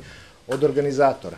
Čime su okrivljeni Šišmakov Eduard i Popov Vladimir, izvršili krivično djelo stvaranje kriminalne organizacije iz člana 401a stav 1 krivičnog zakonika Crne Gore, a okrivljeni Dikić Bratislav, Bogićević Predrag, Ristić Nemanja, Jovanović Miloš, Kristić Kristina, Milić Branka, Dušić Milan, Maksić Dragan, Đorđević Srbulj, Čađanović Mihajlo, Mandić Andrija i Knežević Milan izvršili krivično odjelo stvaranje kriminalne organizacije člana 401a stav 2 u vezi stava 1 i 6 krivičnog zakonika Crne Gore. Po tačkom 2. U periodu od početka 2016. godine do 15. oktobra 2016. godine u Crnoj Gori, Republici Srbiji i Rusiji Okrivljeni Šešmakov Eduard i Popov Vladimir. Po prethodnom dogovoru svjesni svoga dijela čije izvršenje su htjeli znajući da su njihova dijela zabranjena umišljeno pokušali ostvarujući zajedničku odluku drugom radnjom sa umišljajem bitno doprinijeli izvršenju planiranih krivičnih dijela u namjeri da ozbiljno zastraže građane, građane Crne Gore napadnu na život i tijelu drugog. Ozbiljno ugroze i povrijede osnovne ustavne, političke i društvene strukture Crne Gore i spriječe Crnu Goru da pristupi NATO alijansi. Okrivljeni Šišmakov Eduard je dana 26.9.2016. godine pozvao svjedoka saradnika Sinđelić Sašu da dođe na sastanak u Moskvu radi, radi eh, davanja upustava za izvršenje kriminalnog plana, na kom sastanku na kom sastanku održanom 27.9.2016. godine u Moskvi je okrivljeni Šišmakov Eduard, svjedoku saradniku Sinđelicaši Aleksandru, svjesno svoga djela čije izvršenje htio i znajući da, je njegov, da su njegova djela zabranjena, dao uputstva na dan parlamentarnih izbora u Crnoj Gori zakazanih za 16.10.2016. godine, da iz, Srbije, da iz Republike Srbije organizuje dolazak što većeg broja ljudi, pripadnika kriminalne organizacije u Podgoricu, koji bi prisustvali protestnom skupu Demokratskog fronta, gdje bi se stavili pod komandom Dikić Bratislava i za sada neidentifikovanog lica iz rukovodstva Demokratskog fronta. I nakon održanih govora političara Demokratskog fronta sukobili se sa službenicima uprave policije Crne Gore koji obezbjeđuju zgradu Skupštine Crne Gore kako bi nasilno i zajedno sa političarima Demokratskog fronta ušli u Skupštinu gdje bi zajedno sa njima ostali najmanje 48 sati, proglasili izbornu pobjedu Demokratskog fronta i opozicijonih partija i formirali nove organe vlasti Crne Gore za koje vrijeme bi 50 drugih za sada neidentifikovanih pripadnika kriminalne organizacije koje je angažovao okrivljeni Šišmakov Eduard obučeni u policijske uniforme sa zaštitnom opremom, za čiju nabavku je bio zadužen svjedok Sarnik Sinđević Saša, te i sa 50 automatskih pušaka i pištolja, za čiju nabavku je bio zadužen osuđeni Velimirović Mirko, te tako obučeni, naoružani, presrali, pucali na pripadnike specijalne antiterorističke jedinice uprave policije Crne Gore, koja se nalazi u nasilju Zlatice, iste je likvidirali kako bi ih spriječili da dođu u Skupštinu Crne Gore radi uspostavljanja reda, a nakon toga došli pred Skupštinu Crne Gore gdje bi pucali na pripadnike bezbjedonosnih snaga Crne Gore koji obezbjeđuju Skupštinu Crne Gore kao i na okupljene građane kako bi stvorili privid da je dio službenika uprave policije Crne Gore prešao na stranu demonstranta što bi izazvalo reakciju bezbjedonosnih snaga Crne Gore kako bi se branili od takvog napada, koji bi se branili od takvog napada pripadnika kriminalne organizacije i time stvorili pogrešnu sliku da su službenici uprave policije Crne Gore kriminalci angažovani od strane Mila Đukanovića, a potom bi ovako angažovani pripadnici kriminalne organizacije lišili slobode tadašnjeg predsjednika vlade Crne Gore Mile Đukanovića i istovremeno mu naložili da sam ili preko drugog lica nabavi i kupi 50 automatskih pušaka i 50 pištolja sa što većom količinom municije te uniformi i opremu koju koriste službenici uprave policije da bi nakon tog, tog održanog sastanka i predočenog kriminalnog plana svjedoku saradniku Sinđeli Saši Aleksandru u Rusiji i Republici Srbiji u više navrata u cilju realizacije kriminalnog plana predavali novac u iznosu od najmanje 200.000 eura kojim radnjama su se umišljajem doprinijeli izvršenju krivičnog dijela, da bi po povratku u Srbiju svjedok saradnik Sinđevi Saša Aleksandar stupio u kontakt sa okrivljenom Bogićević Predragom i Ristić Nemanjom. Iznio im dio kriminalnog plana okrivljenih organizatora o protestima i nasilnom ulosku u Skupštinu Crne Gore i lišenju slobode tadašnjeg premijera Crne Gore, te je njihovo ulozi vrbovanju i angažovanju pripadnika kriminalne organizacije za dolazak u Podgoricu i učešće u primjeni nasilja i zastrašivanja na protestima pred Skupštinom Crne Gore, a predo im i novac radi realizacije kriminalnog plana. I to okrivljenom Bogićević predraku u iznosu od 29.500 eura, a okrivljenom Ristić Nemanju u iznosu 4500 eura koji plani e, i svoje uloge. U njemu su okrivljeni Bugićević, Rist, Bugićević Predrag i Ristić Nemanja prihvatili, svjesni svoga dijela će izvršenje su htjeli znajući da je njihovo djelo zabranjeno nakon čega je svjedok saradnik Sinđević Saša stupio u kontakti sa okrivljeni Dikić Bratislavom, te istom predao novac u iznosu od 15.000 eura i 500 dolara na ime, e, na ime pokrivanja troškova odlaska okrivljenog Dikića u Podgoricu kako bi, na pre, kako bi na protestu držao na okupu pripadnike kriminalne organizacije koji su došli u Podgoricu, izazvao e, izdavao naredbe pripadnicima kriminalne organizacije kako bi ostali u neposrednoj blizini političara Demokratskog fronta i upravljao njihovim kretanjem, radnjama probijanja policijskog kordona i ulazku u Skupštinu Crne Gore i postupao po upustvima koji bi dobio svjedoka sanda, e, saradnika Sinđelić Saša u pogledu predaje specijalno pripremljenog mobilnog telefona marke Lenovo koji je zaštićen posebnim programima od mogućeg prisluškivanja neidentifikovanom pripadniku kriminalne organizacije iz rukovodstva Demokratskog fronta koji bi nastavio da postupa po upustvima organizatora kriminalne organizacije, što je okrivljeni Dikić prihvatio, te je nakon toga svjedok, svjedok saradnik Sinđelicaša stupio u kontakt i sa osuđenim pripadnikom, eh, pripadnikom Velimirović Mirkom, od koga je tražio da nabavi 50 automatskih pušaka, 50 pištolja i što veću količinu municije, koju je, trebao da smjes, koju je trebalo, trebao smjestiti u iznajemljenu kuću u Podgorici i oružje čuvati do dolaska oko 50 identifikovanih pripadnika kriminalne organizacije, angažovanih u strane strane organizatora kriminalne organizacije okrivljenih Šišmakov Eduarda i Popov Vladimira, koji bi preuzeli oružje i municiju radi napada na specijalne policijske snage i službenike uprave policije Crne Gore i druga lica koja bi se suprostavila nasilnom ulazku u Skupštinu Crne Gore. I istovremeno traži od njega da mu donese dokaz da je oružje kupljeno nakon te nakon što mu je Velimirović Mirko pokazao na svom mobilnom telefonu fotografije oružja, o tome obavijesti okrivljenog Šišmakov Eduarda koji mu je u Srbiji predao dva specijalno pripremljena mobilna telefona marke Lenovo i dao uputstvo da jedan telefon ostane kod njega, a drugi telefon preda Dikić Bratislavu, kako bi okrivljeni Dikić bio u komunikaciji sa članom kriminalne organizacije svjedokom saradnikom Sinđeri Sašom, a koji telefonski aparat, aparati se ne mogu presluškivati niti pratiti mjerama tajnog nadzora, te da okrivljeni Dikić predmeti telefon. Nakon završetka govora političara iz Demokratskog fronta i odpočinjanja sukuba sa službenicima uprave policije radi ulaska u zgradu Skupštine Crne Gore preda pripadniku kriminalne organizacije iz rukovodstva Demokratskog fronta koji će dalje primati uputstvo od organizatora kriminalne organizacije i nastaviti komandovanje licima koja su se sukobila sa službenicima uprave policije i ušla u prostorije Skupštine Crne Gore. I time učinjicima krivičnog dijela stavio na raspolaganje sredstva za izvršenje krivičnog dijela, stvorio uslovi i otklonio prepreke za izvršenje krivičnog dijela, nakon čega je okrivljeni Dikić Bratislav u cilju realizacije kriminalnog plana dana 15.10.2016. godine u ranim jutarnjim časovima došao u Crnu Goru zajedno sa okrivljenom Hristić Kristinjom koja je preko svog mobilnog telefona komunicirala sa, komunicirala sa osuđenim Velimirović Mirkom putem SMS poruka u cilju preuzimanja mobilnog telefona marke Lenovo da bi u Podgorici istog dana u večernjim satima ispred poslovnog centra Delta City od osuđenog Velimirović Mirka predstavljajući, predstavljajući mu se imenom Nikola, a po prethodnom dogovoru sa svjedokom saradnikom Sinđelicašom, u cilju nesmetane komunikacije sa drugim članovima kriminalne organizacije i realizacije kriminalnog plana preuzeo mobilni telefon marke Lenovo koji je zaštićen posebnim programom od mogućeg prisluškivanja i ključe od iznajmljene kuće u kojoj se nalazi oružje da bi u daljem izvršenju krivičnog dijela bili spriječeni od strane službenika uprave policije Crne Gore kada su lišeni slobode. Nakon čega u cilju dalje realizacije eh, kriminalnog plana okrivljeni Šišmako Eduard dana 16.10.2016. godine zahtijevao od svjedoka saradnika Sinđeli Saša Aleksandra da s obzirom da je kriminalni plan kriminalne organizacije spriječen, otkriven i lišenje slobode okrivljenih i lišenje slobode okrivljenih pripadnika kriminalne organizacije pronađe pet lica koja će za vrijeme predstojićih protesta Demokratskog fronta u Crnoj Gori planiranih za vrijeme nakon, pa- e, za vrijeme nakon izbornog dana gađati kamenicama okupljene građane te na taj način izazvati sukobe E, te da pronađe jedno lice koje će otići u Podgoricu i kameno gađati prostorije Demokratskog fronta i ljude koji se nalaze u njima, što je svjedok saradnik Sinđeli Caša i učinio, te je stupio kontakt sa okrivljenim Jovanović Milošem, koji je prihvatio svoju ulogu u kriminalnom planu i otputovao u Srbiju i Srbiju u Crnu Goru,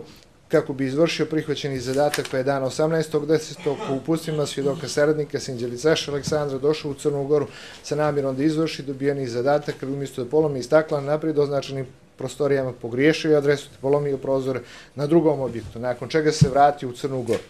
Čime su okrivljeni Šešmakov Eduard i Popov Vladimir kao saj izvršioci izvršili krivično dijelo terorizam u pokušaju člana 447 stav 1 u vezi člana 20 krivičnog zakonika Crne Gore, a okrivljeni Dikić Bratislav Bugićević Predrag i Ristić Nemanje izvršili krivično dijelo terorizam u pokušaju putem pomaganja iz člana 447 stav 1 u vezi člana 20 i 25 krivičnog zakonika Crne Gore. Dana 16.10 pod tačkom 3 Dana 16.10.2016. godine u Srbiji i Crnoj Gori okrivljeni Šišmako Eduard svjesan svoga dijela čije izvršenje je htio i znajući da je njegovo dijelo protipravno sa umišljajem podsrekao drugog da učini krivično dijelo za koje se može izreći kazna zatvor od 5 godina ili teža kazna na način što je na sastanku sa svjedokom saradnikom Sinđelić Sašom Aleksandrom od istog tražio da pronađe osobu koja zna da koristi vatreno oružje i koja će u Podgorici, a nakon što je plan eh, od 16.10.2016. godine za hapšenje predsjednika vlade Crne Gore propao, poći u Crnu Goru i lišiti života tadašnjeg predsjednika vlade Crne Gore Mila Đukanovića, te da otkloni sve prepreke za izvršenje tog krivičnog dijela da sa drugim organizuje izvršenje krivičnog dijela i preduzima druge radnje kojima se stvaraju uslovi za, nepos, za neposredno izvršenje krivičnog dijela ubistva najviših predstavnika Crne Gore i člana 363 krivičnog zakonika Crne Gore, pri čemu je okrivljeni Sinđeri Saša predmetno dijelo nije ni pokušao da izvrši, čemu je okrivljeni Šišmakov Eduard izvršio krivično dijelo pripremanje dijela protiv ustavnog uređenja i bezbjednosti Crne Gore izvršenog putem postrekavanja iz člana 373 stav 1 u vezi člana 24 stav 2 krivičnog zakonika Crne Gore. Predmetna optužnica specijalnog državnog tužilaštva je potvrđena rješenjem višeg su, vijeća Višeg suda u Podgorici KVS OBR 8 kroz 17 od 29.5.2017. godine. Pročitana je optužnica. Konstatuje se da u sudnicu ostaje optuženi Dikić Bratislav, dok se ostali optuženi upućuju na mjesto za prozir. Kom pravcu intervencije sad? Intervencija, da, ste vi pitali sve okrivljene nacionalnosti, a što nemate, što nemate pravo ni po zakoniku o krivičnom postupku, ni po ustavu Crne Gore. Dobro. A nijeste i pitali ono što ste po odredbi člana 336 ZKP-a i po odredbi člana 3 Europske konvencije o zaštiti ljudskih prava i građanskih sloboda dužni da ih pitate. A to je kojim jezikom govore i da li razumiju domicilni jezik. Po, po, ta povreda u žalbenom postupku može da bude da dovede do ukidanja prvostepene presude, a pošto odbrana sigurno očekuje oslobođujuću presudu, ne bi nam odgovaralo da se zbog tog propusta predmet ponovo sudi. Pa mislim da to treba da uradite i da na to upozorite sve okrivljene pojedinačno. Smatram da je sud prekršio odredbu člana stotinu, kada je pitao okrivljene za njihovu nacionalnost, a nije ih pitao kojim jezikom govore. Da. Naravno. Pa rekli ste da ih nisam pitala kojim jezikom govore. To piše. I smatram da je na taj način prekršen ustav i zakon, kao i Evropska konvencija. A pošto odbrana očekuje oslobađajuću odluku, ne bi nam odgovaralo da se iz tih razloga ukida presuda. Da čujem. Dušan Radosavljević, branilac Milana Kneževića. Ja sam pažljivo čitao čitanje optužnice, odnosno dispozitiva optužnice. Ovo nije čitanje. Ne ovo ništa protiv toga, jer smo, mi, mi smo rekli da se slažemo se ono uopšte ne čita. Međutim, ja sam pažljivo to slušao. E, specijalni tužilac je u osam navrata, čitajući ime Sinđelić Saša, nije rekao Aleksandar. Tako da ja ne znam uopšte o kojim licima se tu radi. Znači, osam puta e, gospodin čita Sinđelić Saša, bez povlake Aleksandar, kao što piše u optužnici. Imajući u vidu namjerno uh, potenciram to, imajući u vidu da identitet tog čoveka je bio problem od samog početka, prvi bio Aleksandar, pa Saša, uh, sada, da li jedno ili drugo. U istom delu dispozitiva, gospodin čita, uh, praktično identifikuje dva lica. Jedno je Sinđelić Saša, a drugo je Sinđelić Saša Aleksandar. Da budem precizan, gospodin je u jednom trenutku rekao Sinđelić Saša, odnosno Aleksandar. Ja sam pažljivo slušao dok je tužilac čitao optužnicu želim da ukažem da je prilikom čitanja optužnice tužilac negdje čitao Sinđelić Saša, negdje Aleksandar, a u jednom momentu se izjasnio da kada je proštao Sinđeli Saša, odnosno Aleksandar, kako je tužilac pročitao. Pa meni nije jasno o kom licu se tačno radi. Osim toga, da li, da li je ovdje došlo sada do izmene optužnog akta u tom delu?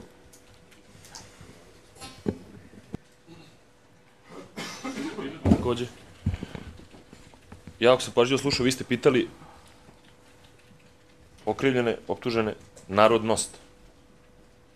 Ta kategorija ne postoji od ukidanja komunističkih ustava, a narodnost... Advokate, čuli smo to sve. Ne, ne, niste čuli kolega je rekao nacionalnost, ja samo preciziram da ste pitali narodnost. Narodnosti u bivšoj Jugoslaviji su bili narodi koji nisu bili konstitutivni. Dakle, e, to kao kategorija, dakle, ne samo što ne može se pita nacionalnost, već posebno ne može se pita narodnost, narodnost jer kao kategorija ne postoji u domicilnom pravu Crne Gore. Dobro. To je moja primjedba. Već ste se, već ste iznijeli tu svoju primjedbu. Pa mi smo odmah reagovali. Pa ne znam zašto ponovo. Niste nam dali reč. Konstatuje se da u sudnicu ostaje optuženi Dikić Bratislav dok se ostali upućuju na mjesto za prozivku.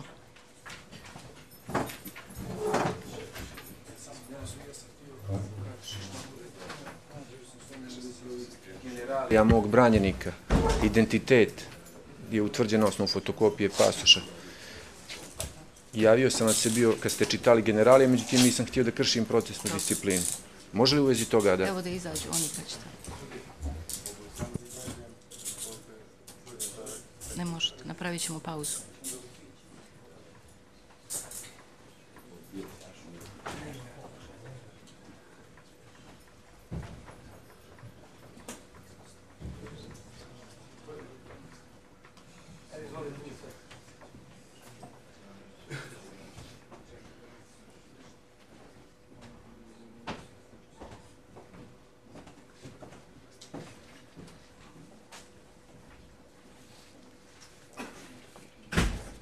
Izvolite, advokat, šta ste vi htjeli sad? Ja sam htio samo, znači, u vezi ovog Pravo identiteta mog branjenika, Šmakov advokat Radonja Drakulović. Radonja Drakulović. Ovako, identitet mog branjenika je utvrđen iz fotokopije pasuša. Smatram da se ne može sa nesumnjivom sigurnošću utvrditi identitet iz fotokopije iz prostog razloga jer fotokopija je podložna izmjenjama, u njoj se može mijenjati sadržaj. I baš zbog toga postoji original koji, koji svojim pečatom nadležnog organa garantuje, odnosno potvrđuje da ono što je u dokumentu sadržano da je istinito. Svi znamo koji smo učestvovali u nekom postupku da ako kao dokaz želimo da dostavimo fotokopiju, da bi nam sud uvijek naložio da Ja dostavimo prigovaram original. utvrđivanju identiteta moga branjenika, jer smatram da se on ne može utvrđivati iz kopije pasoša, već se to uvijek mora raditi na osnovu originala. Posebno ako znamo da je cilj vođenja postupka da se utvrdi istina, da se o postojanju ili nepostojanju neke činice zaključi sa nesumnjivom sigurnošću. Na ovaj način ostaje sumnja da li se zaista radi o ovom licu iz razloga jer u predmetu egzistira i ovaj e, Širokov, Eduard Širokov, za koga nije utvrđeno da je falsifikovao dokument. Znači, od centralne službe za suzbijanje falsifikovanih dokumenta nije traženo da se ispita ovaj pasoš na ime Eduard Širokov. Dok Pa ostaje sumnja da o kom licu se radi. autentičnost ovog pasoša na ime Širokov Eduarda. A Ja cilj, bih- po, cilj je da se u postupku utvrdi istina. Ja bih istakao još i prigovor mjesne nenadležnosti ovog suda.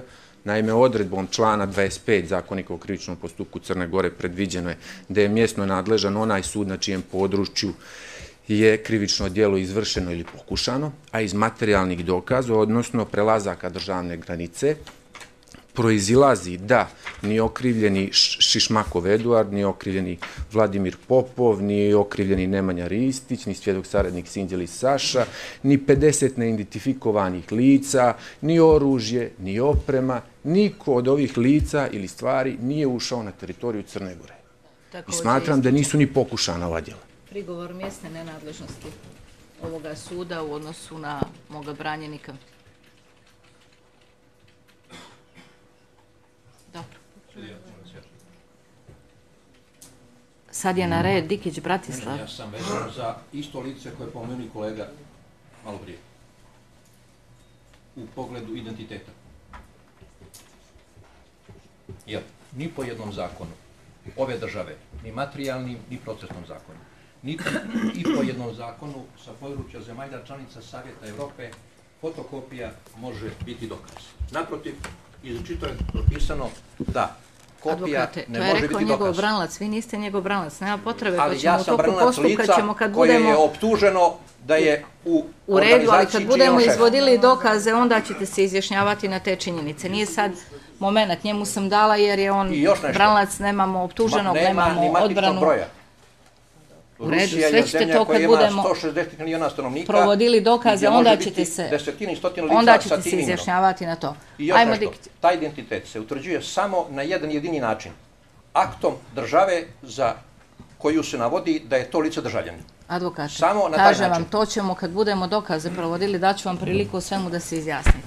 Pred sudom je optužen Dikić, Bratislav, koji se upozorava u smislu člana 12 i 337 ZKP-a te posebno poučeno pravu da angažuje branioca, da nije dužan da odgovara na pitanje suda, te da njegov iskaz može biti korišćen kao dokaz u postupku i bez njegove saglasnosti, da može postavljati pitanja, predlagati dokaze, da pažljivo prati to glavnog pretresa, iznosi primjedbe i daje objašnjenje u pogledu njegovog iskaza pa izjavi. Jeste razumijeli, Dikiću? Jesam. Želite li da iznesete svoju odbranu? Naravno. Želite li da odgovarate na pitanja? Naravno. Ja ću iznijeti svoju odbranu i odgovarat ću na postavljena pitanja. Razumijete li jezik suda? Razumem. Ja razumijem jezik suda. A vaš jezik je? Srpski. A moj jezik je srpski. Razumijete li ono što vam se stavlja na teret? Verujte, ne razumem ovu Mislim, bajku. razumijete li jezički šta piše? Da, da, jezički Optuženi izjavi da je razumio navode optužbe. Predsjednik Vijeća poziva optuženog da se u smislu člana 339 ZKP ako to želi izjasni o svojoj krivici. Jeste krivi za ovo, Dikiću? Ne, poštovana Nisam kriv. Već. U svojoj odbrani kaza. Da čujem.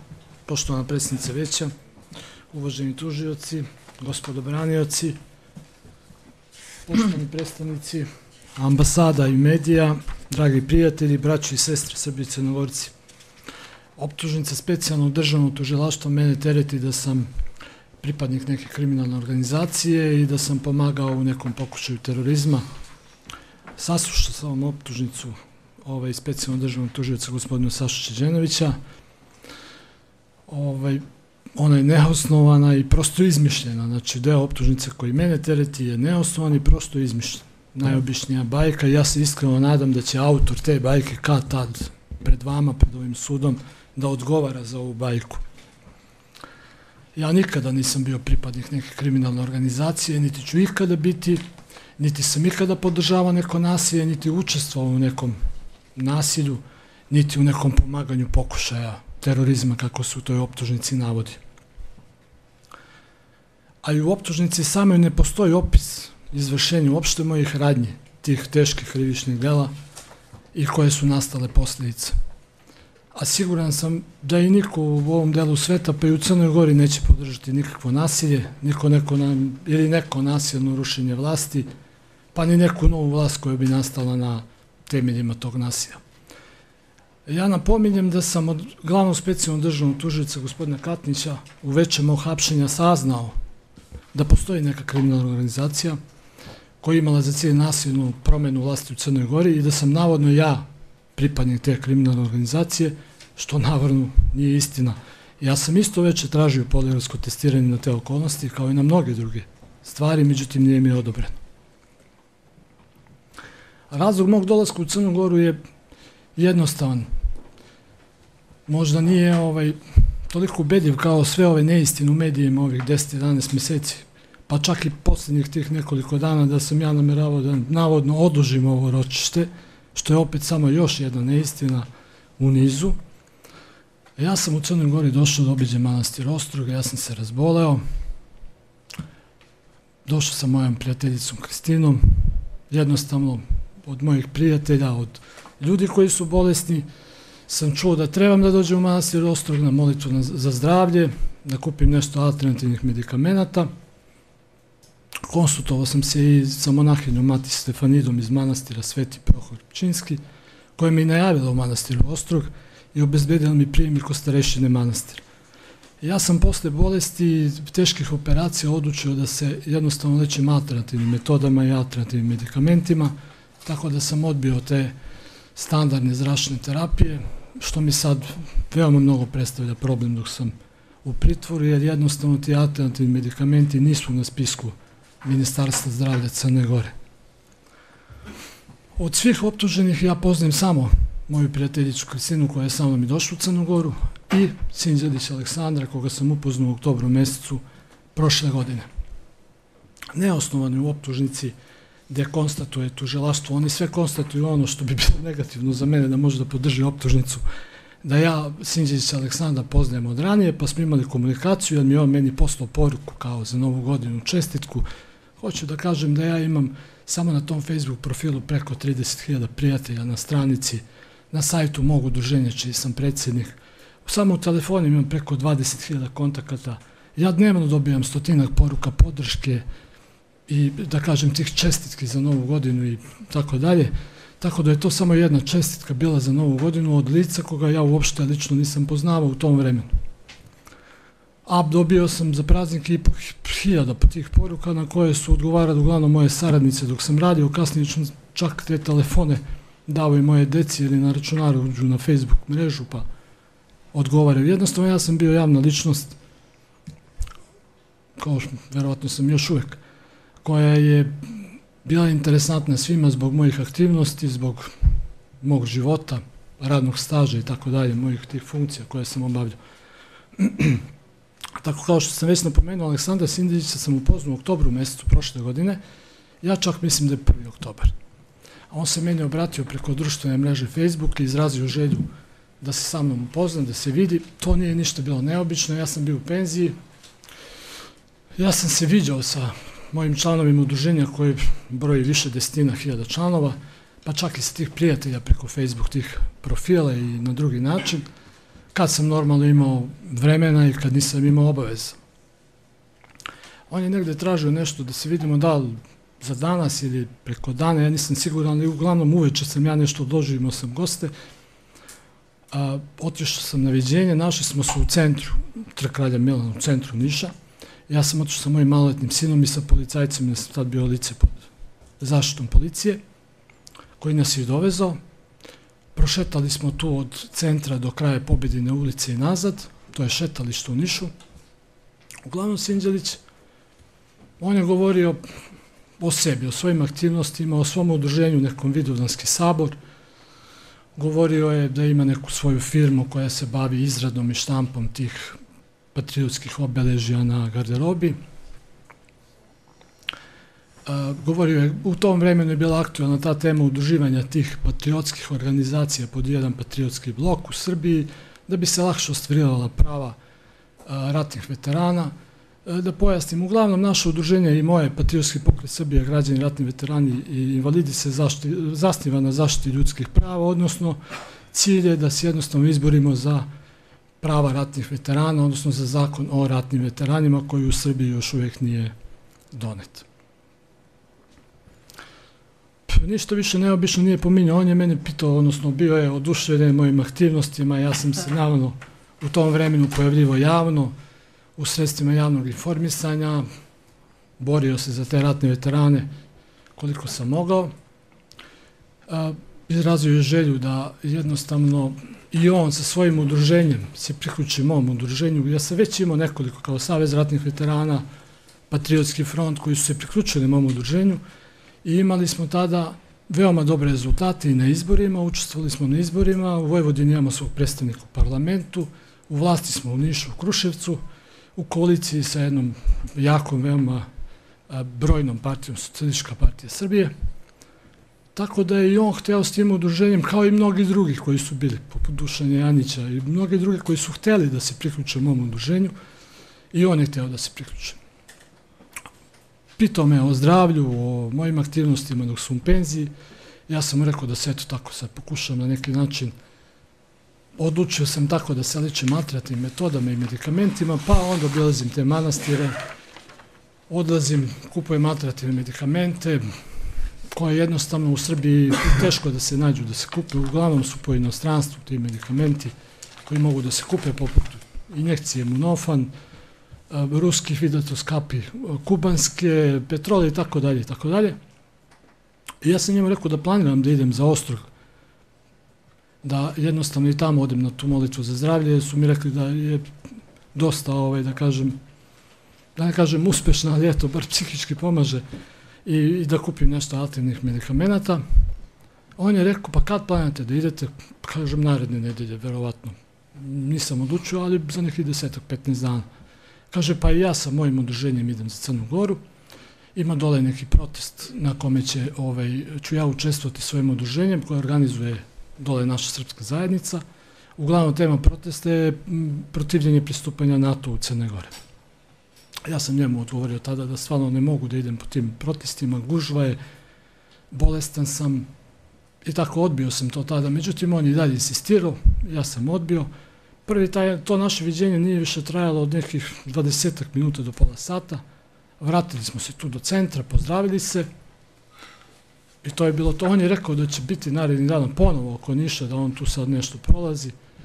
I ovaj, da će doneti neku majicu za moju deču, koju on, da kažem, štampa, proizvodi i tako. Ja sam nakon njegovog viđenja pogledao po internetu da vidim da li ima neki najavljen protest. Nije imalo. Uglavnom sam vidio datume, nema ništa svežije. Nije imalo najavljenih protesta u Crnoj Gori protiv NATO-a. Obavestio sam rukovodstvo mog udruženja oko tog poziva za moguće moje učešće na, odnosno ili nekog našeg predstavnika, ne moram ni ja da budem, ali je poziv bio da, da budemo ovaj, sa našim Srbima u Crnoj Gori. U statutu našeg udruženja jasno ima jedan naš programski cilj da je podržavamo naše Srbi u dijaspori, u njihovim ciljevima, naravno u, u skladu sa demokratskim principima i sa međunarodnim pravom. Rukovodstvo mog udruženja, čim sam ja predsjednik, kao što sam rekao, broj više hiljada članova, ovaj, se složilo sa tim i e, čak me i savjetovalo da bi bilo dobro. Kad već idem u Crnu Goru da ja obiđem taj skup, da jednostavno se i pojavim na tom skupu, moram da kažem da je jedan od mojih potpredsjednika, Zoran Vranešević, je rekao da je nekada bilo ranije problema na tim nekim skupovima, da tu treba da se obrati pažnja, ali uglavnom donali su, glavni odbor je donao odluku da ja trebam da svratim na taj skup. Kod mog branioca postoji rešenje Agencije za privredne registre ovaj, udruženja čiji sam ja predsjednik, postoji program sa status sa programskim ciljevima kao i odluka glavnog odbora. Sinjeli se ponovo javio nakon nekih 4-5 dana. 3-4 dana, 5, tako, 5. 6. oktobar. Ja sam već bio u gradu sa ovim policajcem koji me obezbeđivao Knežević Dalibor. Odvezli smo sina na trening i sedeli smo tu u kafiću proces. Tu obično moj brat svraća pa smo tu, eto, blizu nam je tu centra i tu nam je nekako prigodno. Kad je on pustio poruku, bilo je večer negde.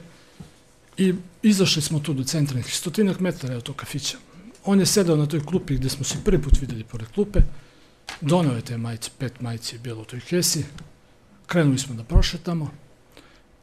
Tad je rekao da se je čuo sa Crnom Gorom, sa tim njegovim prijateljima koji organizuju taj protest, da su oni oduševljeni, da bi bilo veoma dobro da se ja pojavim, da dam podršku, da jednostavno ta priča se svodila oko tog organizacije, on me stalno molio da jednostavno dođem na taj protest, da se ja pojavim. Ne znam da li je drugi put ili prvi, ali mislim da je drugi pomenuo, čak da je on nešto optuživan za ratne zločine u tom nekom razgovoru, ali da je ovaj oslobođen zato što je njemu nešto bilo podmetnuto i tako dalje. E, bio je pritvaran, pa sam ja u tom vremenu, kad sam radio u KP Zavodu, niš radio suzbijanje pobune, da me on tada vidio, ali ga kao ne poznajem i tako dalje. Prošetali smo, ali bilo kraće, zato što je počela kiša, bilo je nekih možda 15 minuta je bio kontakt. Kad smo se vratili tu do centra, prilikom pozdravljanja, on je meni tačno je gurnuo znači, u ruku ovaj, neke zgužvane novčanice. Kad sam ja vidio, vidio sam da je to 5 po 100 dolara, 500 dolara. I rekao je da je to, kad sam mi rekao čemu se radi, šta je, pokušao da mu vratim, on je rekao da je to za medikamente, za pomoć, dobio je on oko firme dosta novca sad, dobro zarađuje i tako dalje. Nisam uspio da mu vratim zato što jednostavno nije insistirao na tome. Ja sam insistirao, ali on je insistirao da nikako ne može da uzme novac nazad. Kaže, eto, kao ideš u manastir, a ujedno kaže, ajde, vidit ćemo se mi svakako na skupu.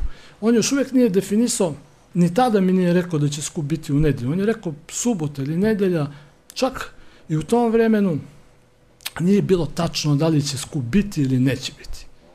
Znači, on jednostavno nije mogao da mi kaže, e, bit će tada i tada u toliko sati. A rekao mi je da će biti njegovi ljudi u subotu u Crnoj Gori, da on dolazi u subotu negde popodne, ali da će sa organizatorom oni biti zajedno, pa će mi javiti tačno vreme kad. Ja sam mu rekao tada, na tom drugom viđenju, ta eto, pošto idem za Crnu Goru, ajde, svratit ću na tom skupu, ali da mi se odredi tačno vreme kada ja, kad sam ja govornik, kad dolazim, ja ne mogu jednostavno u gužu da, da odlazim i tako. To je bilo naše drugo viđenje, rastali smo se tu posle dva, tri dana ja sam njemu pustio poruku da su deci izabrala majice, uzeli su tri, pošto imam troje dece, dve su bile neke sa kragnicama koje su loša štampa, grb Srbije i to. I rekao, kad, ako prolazi kroz niš, da mu vratim te majice. On je pustio poruku da će biti eh, kroz Niš negde ponedeljak uveče, ali ne znam tačno vreme, ili ide kao za Beograd, ali neće svraćati u Niš. E, izvinjavam se samo na tom drugom viđenju, tražio je da, eh, da mu pokažemo put za Knjaževac iz Niša.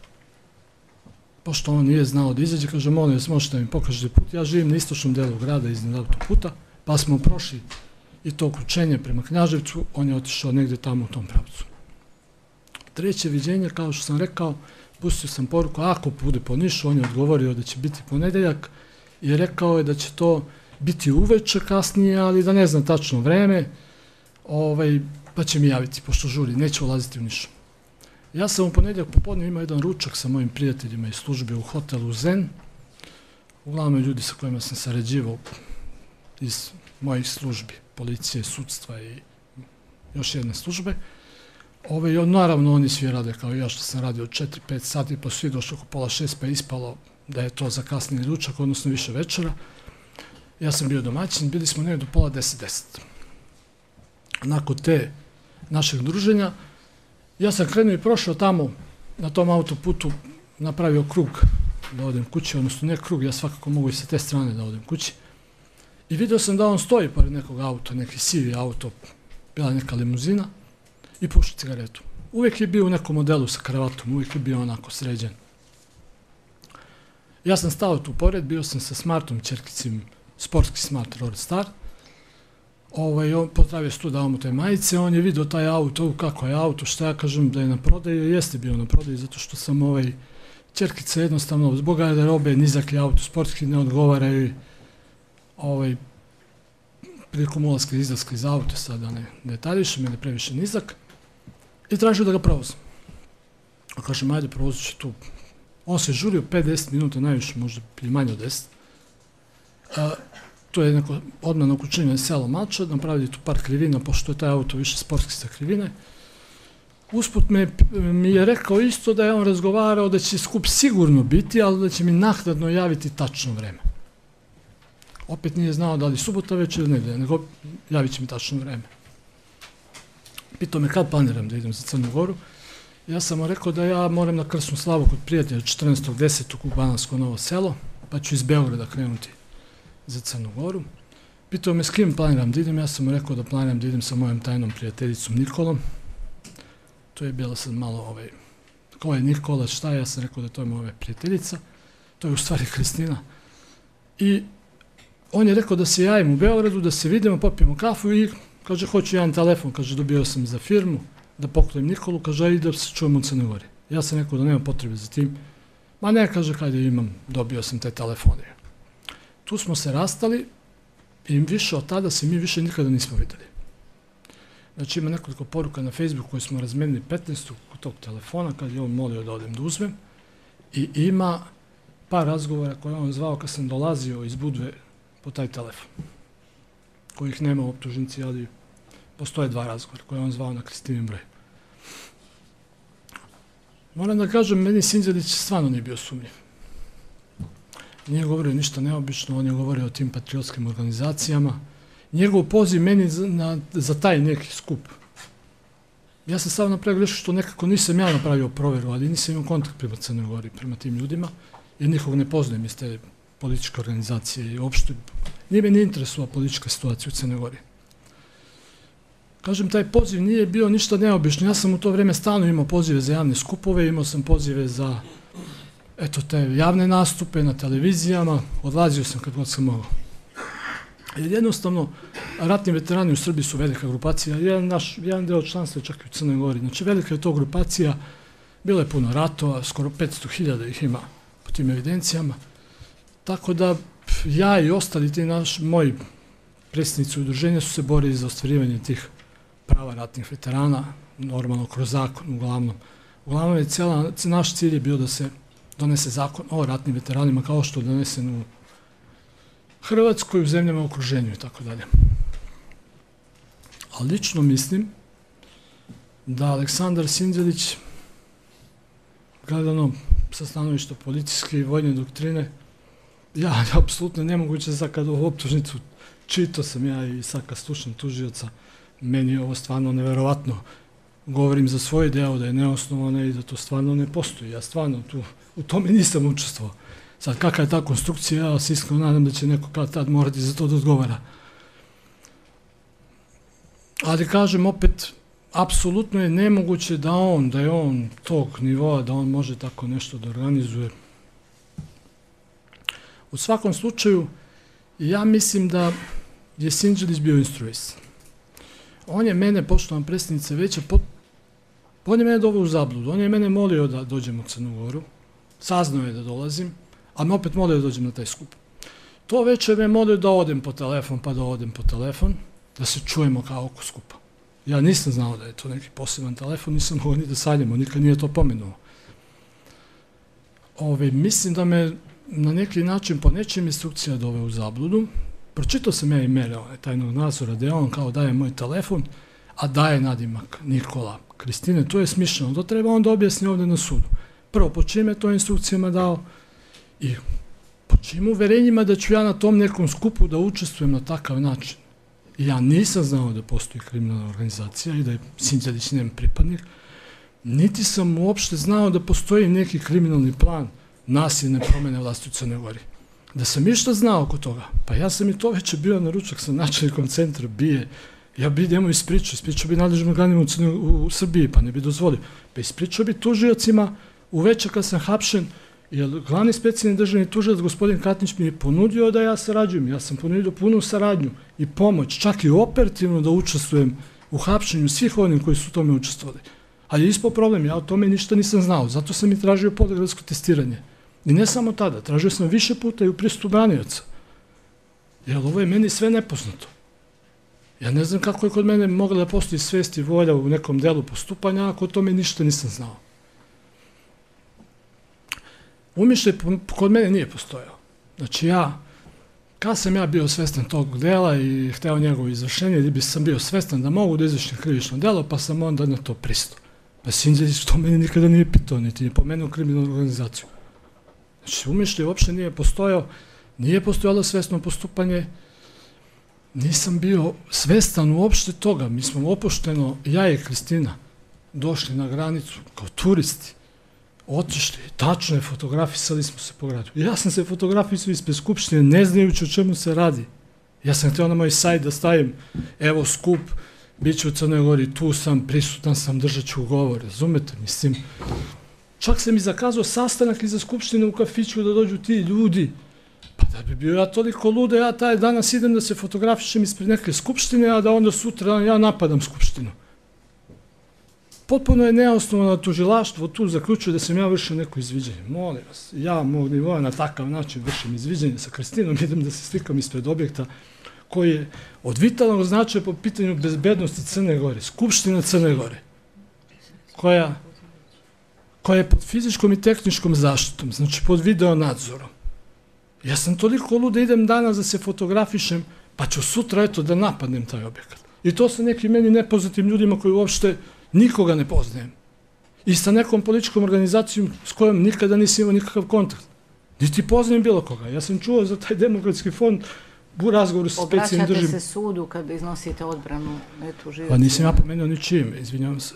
Sudu govorite. Vama, pošto predsjednice već, izvinjavam se ako sam, ja nisam pomenuo ni, ni ali moram da kažem ono što se desilo.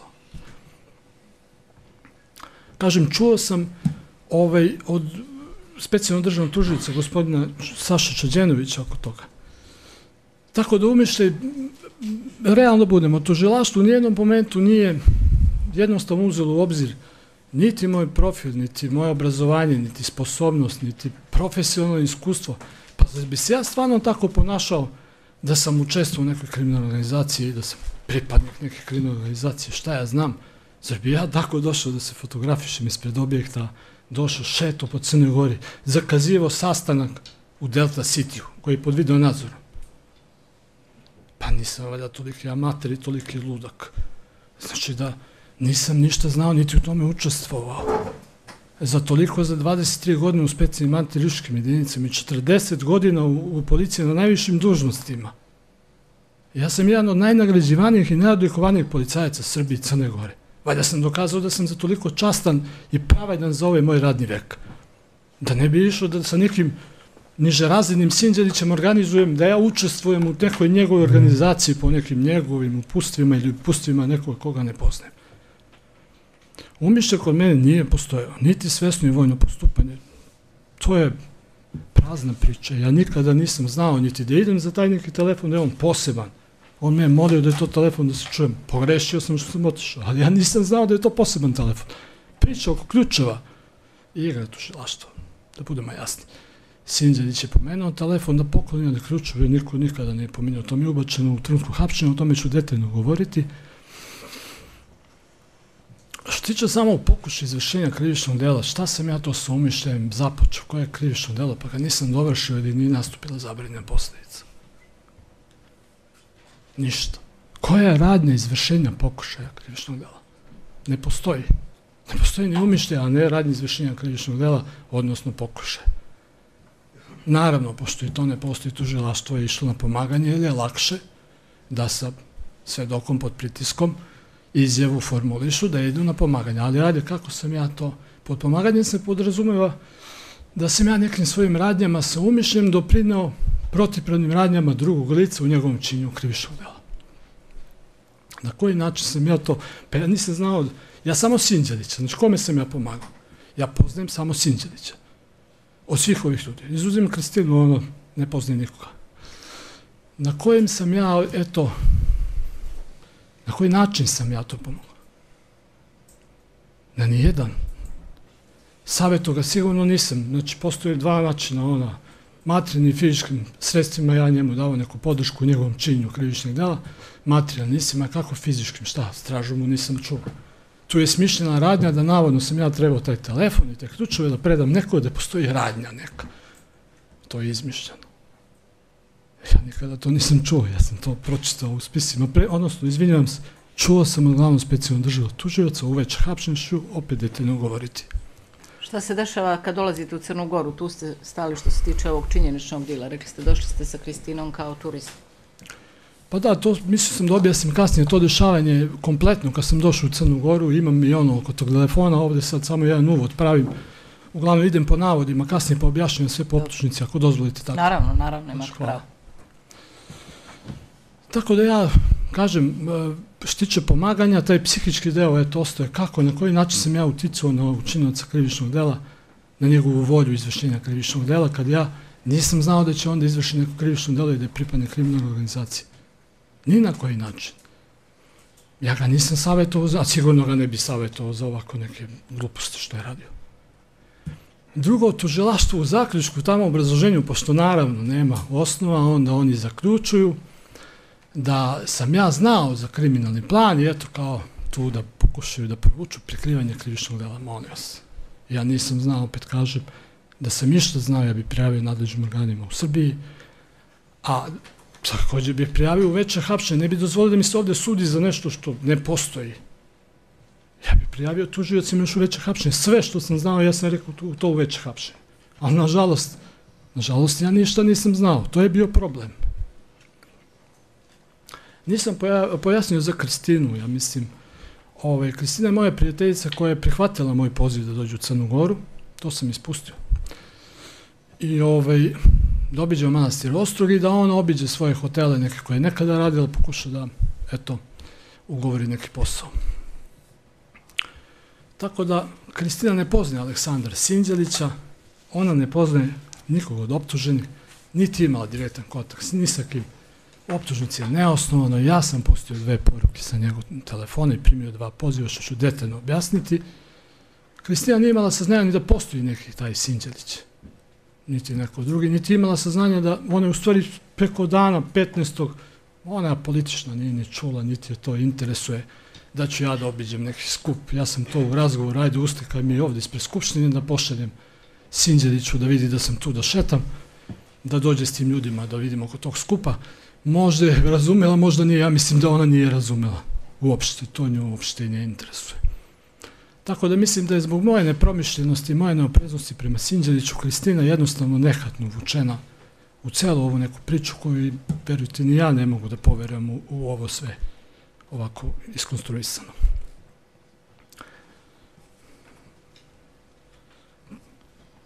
Poštovana predsjednice, već odgovorno tvrdim, ponovo, da ja nisam znao da postoji neka kriminalna organizacija čiji je član taj Sinđelić Aleksandar koji ima za cilj nasilnu promjenu vlasti u Crnoj Gori.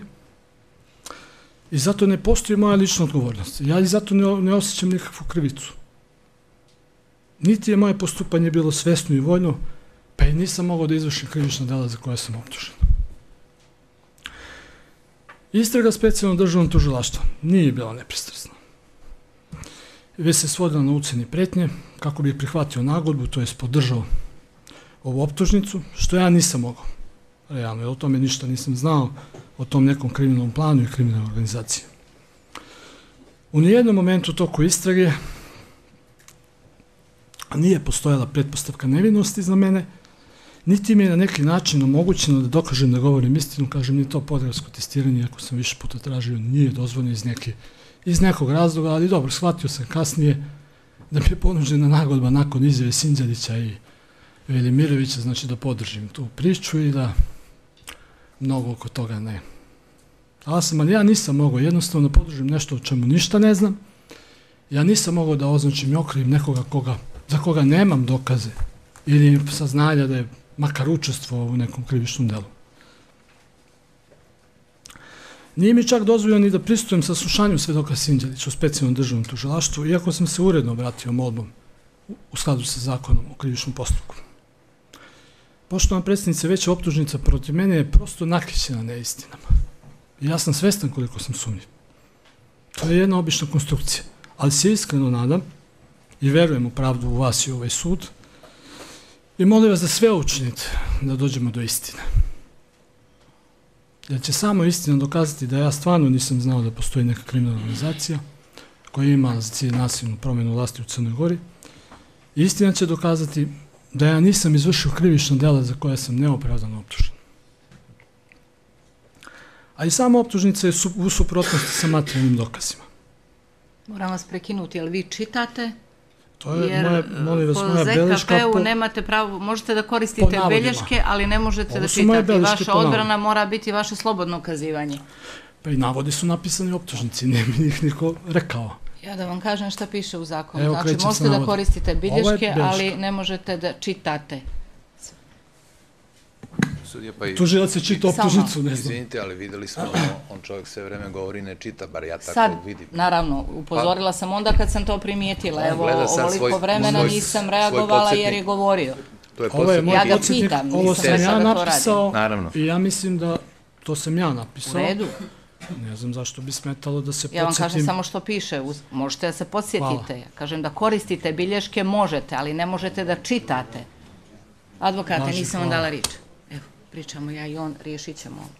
Hvala vam, poštovno predsjednice veća.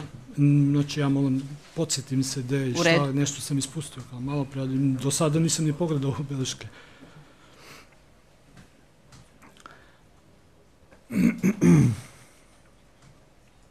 Kao što sam i rekao, znači, sama optužnica u suprotnosti sa materijalnim dokazima i svih ostalih izjavama, kao i Sinđelića, svedoka, kao i s izjavama ostalih optuženih. Postavlja se pitanje na kojim to dokazima specijalno državno tužilaštvo bazira uopšte ovu optužnicu protiv mene. Na tom jednostavno u optužnici ne postoji. Moram još da kažem da je ova lažna optužnica protiv mene ovaj najveća kazna. Meni najveća kazna. I kao što sam pomenuo, ja sam ipak čovjek pravde, otkad znam za sebe i učestvovao i preduzimao sve mere protiv tih najtežih krivičnih dela sad odjednom ovaj, ispadam ja neki terorist ili ne znam pomagao nekom teroristu učestvovao u nekom neverovatnom poduhvatu. Tako da već kazam da ove nema, ja više krivim sebe nego što ste bilo koje što me je tužilaštvo krivilo. Što se tiče samih navoda optužnice, ja, oni ne samo da su neosnovni, nego su lažni ali ću ih ja iskomentarisati istio. Kroz same navode ću objasniti još te detalje koje ste mi pitali oko e, našeg stizanja u Crnu Goru, odnosno u Podgorici, oko telefona, oko fotografisanja i to. Navodi specijalno državnog tužilaštva me terete da sam krajem februara 2016. godine postao pripadnik kriminalne organizacije koji su organizovali e, Šišmakov Eduard i Popov Vladimir i da sam postupao po njihovim upustima i upustima drugih članova kriminalizacije. Ovo su neistiniti navodi specijalnog državnog tužilaštva. Potpuno su proizvedni i prosto izmišljeni. Ja sam već izjavio da ja nikoga ne poznajem osim Kristine i Sinđelića od svih optuženih lica. I nikada nisam imao nikakve kontakte, nisam mogao da imam. Ja ne poznajem te neke Ruse. Ja sam za te Ruse, kao što sam već izjavio, saznao u veća hapšenja od glavnog specijalnog državnog tuživca gospodina Katnića. Naime, kada sam uhapšen i odveden u prostorije specijalnog policijskog odolenja, sektora kliničke policije, tada je došao gospodin Katnić, glavni specijalni državni tužilac i specijalni državni tužilac gospodin Saša Čizenovića. Gospodin Katnić mi je obrazložio da postoji neka kriminalna organizacija koja je u Crnu Goru došla da sam ja taj koji sam u toj kriminalnoj organizaciji, da nasilno promeni vlast. U stvari vam ispričao uglavnom sve ovo što piše u optužnici, deo toga većinu. Ja sam nam rekao da to nije istina. Onda mi je on rekao da sam ja po telefonim ključeve došao za tog Rusa Nikolu, pokazao mi je fotokopiju pasoša, putne isprave. Ja sam pogledao, ja to lice nikada u životu nisam video. Naravno, ovaj, ja sam rekao da ću pomoći u svemu, sve ono što mogu što znam, ali ja o tome što je meni gospodin Katnić rekao, nisam znao ništa. E, on je tražio od mene tada da opozujem neke moje ljude. Ja sam u Crnu Goru došao sa Kristinom, ja i ona sami. Ja nikoga ne pozovem, niti imam bilo kakvi ljudi u Crnoj Gori. Normalno tada je bilo ovaj, da ja jednostavno ne govorim istinu, tada sam im tražio podgrasko testiranje, nije mi odobreno. I to je bio taj naš prvi razgovor, bila je tu i prva pretnja koju moram da citiram, gospodin Katnić je pri izlazu rekao, generale, ja ću tebi spakovati robiju, a sud neka te oslobodi, pa neka ti sve plate. Kraj citata. Specijalni državni tužilac, gospodin Saša Čezenović, nije učestvovao u razgovoru. Ja moram da pomenem još jednu pretnju, sada i neću više se baviti time, mada su bile pretnje. Hoću da kažem samo oko tih pretnje. Gospodin, e, specijalni državni tužilac, gospodin Saša Čezenović je bio korektan i profesionalno razgovor sa mnom. Još jedna pretnja, bio sam u veoma teškoj zdravstvenoj situaciji, 12. novembra u, u kancelariji glavnog specijalnog državnog tuživca gospodina Katnića smo bili. On je bio nešto izašao. Ja sam zamolio specijalno državnog tuživca gospodinu Sašu Čizenovića da pita gospodina Katnića da se promeni mera nadzora ili da se napravi neka nagodba da bi ja preživao celu situaciju u koju sam zapao. I on je to učinio za mene. Znači, kada je ušao glavni specijalni državni tužilac, gospodin Katnić, on ga je pitao, a Dikić je bolest, da vidimo šta je kako, da se bar promijeni mera nadzora, da može da se leči, da preživi sve ovo. Glavni specijalni državni tužilac je tada, se moram da kažem šta se tačno sve desio, stavio ruke u džepove, stao i pogledao kroz prozor, citiram šta je rekao, a ne možemo Saša to tako, a kome ću ja ono oružje? Ne mogu ga staviti onim jadnicima. Spakovat ćemo ga generalu, on je vojnik, kraj citata. Ja Opominje tada... se publika da ne remeti procesnu Istina. disciplinu, jer nakon ove opomene Istina, bit ćete svi udaljeni. Ja sam ovaj normalno reagovao, ako je to časno i profesionalno, da mi se tako nešto spakuje, neka mi se spakuje. Neću se baviti više pretnjama, rekao sam, morao sam da pomijem, eto, bar što je mene pogodilo kao profesionalca, kao policajca, kao nekog iz pravde.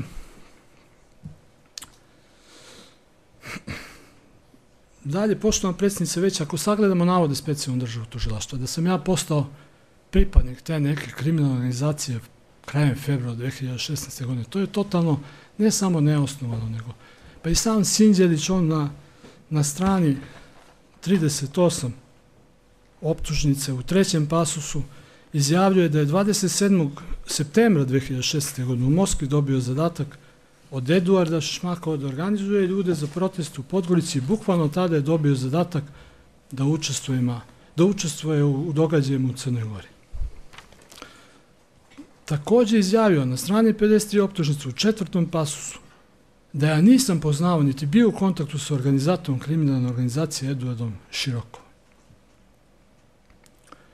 Tako da je on, dozvoli, on izjavio jednostavno da je ta organizacija formirana negde u septembru, krajem septembra, a ja sam Sinđelića upoznao u oktobru. Mislim da je bio 1. oktobar i mislim da je u optužnici tad bila ta poruka. Na koji način? On meni nikada nije pomenuo nikakvu kriminalnu organizaciju. On nije pomenuo nikakav kriminalni plan.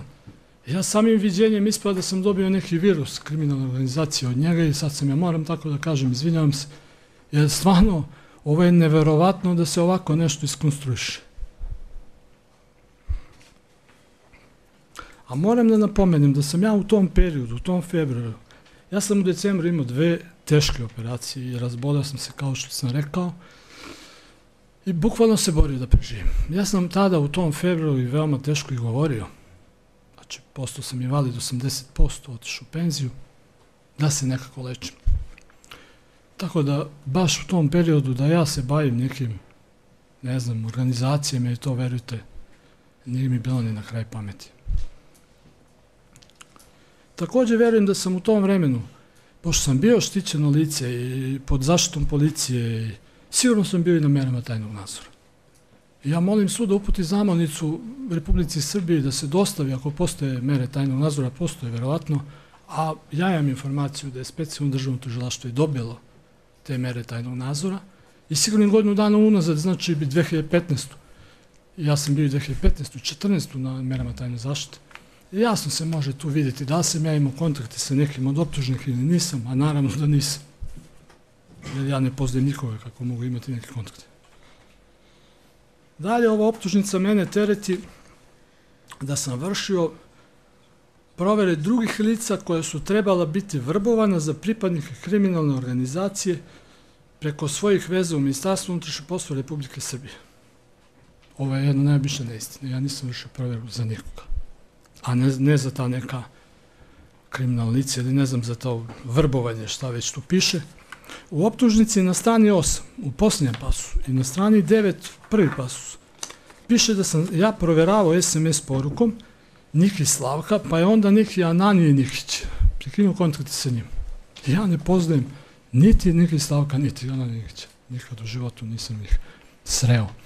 Za, Ananije, za Slavka Nikića znam što sa društvenih mreža. Znači on me stalno prozivao negativno u javnim nastupima svojim ne znam da li je to zbog svoje zavidnosti, zbog čega čak smo trebali na nekom skupu da zajedno govorimo, ja nisam prihvatio iz tog razloga, zato što jednostavno čovjek kad god izađe u javnosti na nekom skupu ili u medijima, on govori negativno o meni. Može zbog zavidnosti ili ljubomore u tom vremenu, jer sam ja jednostavno imao jedno udruženje, sam formirao Patijovski pokret Srbija, građani, ratni veterani i invalidi, kao što sam već pomenuo, koje je bilo veoma uspešno. Istekao sam poverenje tih ljudi, ratnih veterana, porodica poginulih, Možda je to razlog. Ja mislim da će najbolje to objasniti sam Slavko Nikić kad bude dao izjavu. A kažem, obaveštavali su me dosta prijatelji koji njega poznaju da me negativno isto prozivu u javnosti. Čak jednom prilikom i supruga Dejana Stojanović, Ana Stojanović me je pozvala i rekla da me opet negde negde proziva. Eh, njih posebno napominjem jer oni poznaju Slavka Nikića iz Prištine, su on je negde dole Priština iz tog dela i onda su me one obavestili oko toga. Ovdje piše na 97. strani u posljednjem pasu da sam se ja SMS poruku raspitivo 9. marta 2016. godine o Nikli Slavku. Nejasno je kome je upućen taj SMS, na koji broj, koji je tekst poruke. Zašto to lice kome sam ja uputio poruku nije saslušano u istrazi pa da to razjasnimo, te insinuacije specijalno državnog tužilaštva. Ostavljam mogućnost da sam ja pitao kome se radi zato što me stalno proziva i stalno je protiv mene. Ipak ja imam ime, imam reputaciju, ne mogu da dozvolim da ljudi čitaju po društvenim mrežama, po internetu, po novinama, neke neistine o meni. Ali opet kažem i taj Slavko Nikić, pa će on više oko toga pojasniti. Što se tiče tih poruka, ja u telefonima imam samo u kontaktu imam bar 20.000 kontakata. Sigurno tu ima i 15.000 mojih članova udruženja koji imaju Viber aplikaciju zbog besplatnog našeg komuniciranja. I imam bar 30 do 40 hiljada samo na Facebook profilima, stranicama, na sajtu patijski pokret I, ali jasno se tu može proveriti komunikacija, s kim sam ja komunicirao, kada. Čak i ovo za Crnu Goru, dalje je postojalo neko drugo obaveštenje, nije postojalo, naravno, jedno jedino. Pa ja na takav način komuniciram sa mojim članovima, da je bila neka druga organizacija za dolazak u Crnu Goru. To bi se videlo. Ja bi pustio obaveštenje ili na partijski pokret Srbije.org ili bi pustio poruku mojim članovima koji imaju cirkularno njih 15.000 samo u telefonima ili bi to bilo na Facebook profilima, na stranicama i tako dalje. Tako da ja dnevno sam dobio stotinak i više poruka, kao što sam već pomenuo, a za praznike su poruke bilo hiljadama. Ja sam vas pustila da pričate sve ono što vi mislite da treba da kažete u svojoj odbrani. Više puta ponavljate sve isto. Ja bih vas molila da se usresredite na konkretno činjenični opis koji vam se stavlja na teret. Neću vas onemogućiti, imate pravo, imate da govorite koliko god hoćete i što god hoćete da kažete u svojoj odbrani, ali samo u okviru činjeničnog opisa koji vam se stavlja na teret optužnicom. Opet se vraćamo na Sinđelića, na veterane, sve se to već ispričali. Ajmo dalje ovaj dio kad ste ušli u Crnu Goru, šta se onda dešavalo? Poštovan predsjednice već, ja se izvinjam. pauzu možda. Ja idem po navodima Jel e, vam je potrebna pauza? Ja, ne, ja se izvinjam, molim vas, ne znam zašto vama smeta, ja idem po navodima optužnice. Da Meni vi, ne smeta, ali ste više puta... Da mi postavite pitanje ako hoćete sad, da ja sam mislio da će pitanje biti na kraju. E, Pitanje će biti na kraju. Vaše je da iznesete odbranu, pa će da vas pita tužilac, odbrana pa sud. Jer ste više puta iznijeli koliko imate pratilaca, koliko ste poruka dobili, sa kim ste komunicirali, koga znate, koga ne znate o ratnim veteranima, ali nikako da dođemo do ove same suštine. Ovo je drugi put kako sam pomenuo i ja kažem opet, poštovana predsjednice veća, molim vas za strpljenje, ja idem po navodima optužnice. Apsolutno, Ako mi date vremena, ja bih pojasnio navode optužnice, ako to ne opterećuje vas i ostali prisutni. Recite. Samo da se sjetim gdje sam stao, pa što ste me opet prekinuli. Završili ste Nisam završio. Oko Slavka, htjela sam da vas podsjetim gdje ste stali. Znam da niste završili e, oko Slavka Nikića i vratili Hvala ste se na poruke oko ratnih veterana i vašeg Posebno bih broja naglasio- kontakata koje imate u telefonu. To nisam pomenuo, sad sam po, prvi put pomenuo oko broja kontakata. Pa tu ste stali, zato vas podsjećam. Znači, hvala. Hvala. Poštovana predsjednice veća, posebno bih naglasio da sam ja u periodu kada je ta poruka poslata bio u Nemačkoj, od 5. do 11. marta, sa svojom suprugom bili smo u bolnici, nosili rezultate mog zdravstvenog stanja, preko mojih prijatelja u Nemačkoj i kupovali smo alternativne medikamente, pošto u Nemačku postoje u prodije. A što se tiče same provere preko Ministarstva unutrašnjih poslova Republike Srbije, to se lako može proveriti. Ja nisam vršio proveru za nijedno optuženo lice, niti za bilo koje drugo lice, ja sam bio rukovodac, niti sam se bavio time. Niti sam mogu u tom periodu izvršim proveru, ja sam bio u penziji od decembra 2015. Na tom informacijom sistemu Ministarstvo unutrašnjih poslova Republike Srbije se lako može proveriti ko je i kada ulazio na sistem i za koga je vršio proveru. Znači, ostaje zapis. Tako da vas molim, pošto tužilaštvo to nije uradilo, može sud da poputi zamolnicu i dobit će konkretnu informaciju da li sam ja ili bilo ko ko je vršio provedu za neka lica, odnosno za ta optužena ili taj Slavko Nikić ili kako već. Ovo je samo, kao što sam rekao, još jedna neistina optužnici. Ako može pauza, ja se izvinjam. Već sam se zamorio i Da li unosimo odbranu sad?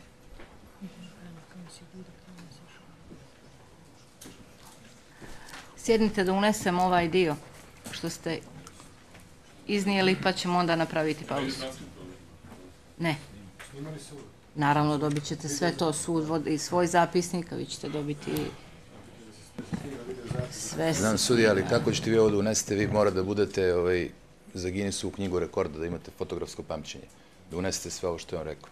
Znate zbog čega to kažem? Zato što smo imali takvu situaciju i kad smo saslušavali svedoka saradnika, pa kad smo pregledavali snimak i ono što je ovaj, uneto na zapisnik, a zapisnik je sastavni deo optužnice, bilo je dosta razlike.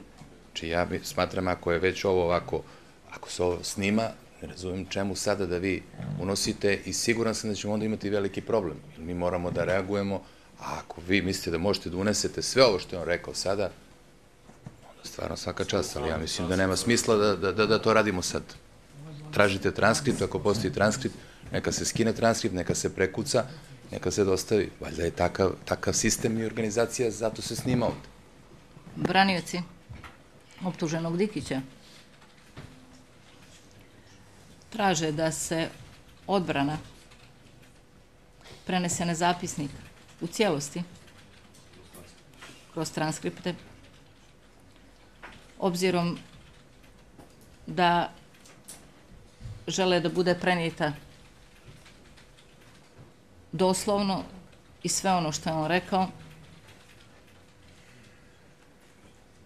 jer su prilikom ranijeg saslušanja u tužilaštvu imali problema, odnosno nije bilo saglasnosti između onoga što je izjavljeno i onoga što je napisano. Dikiću, jel? Nije vam dobro, Dikiću, jel? Biću dobro, izdržat ću, se nadam. Optuženi Dikić traži pauzu zbog svog zdravstvenog stanja, nakon čega će nastaviti sa davanjem odbrane.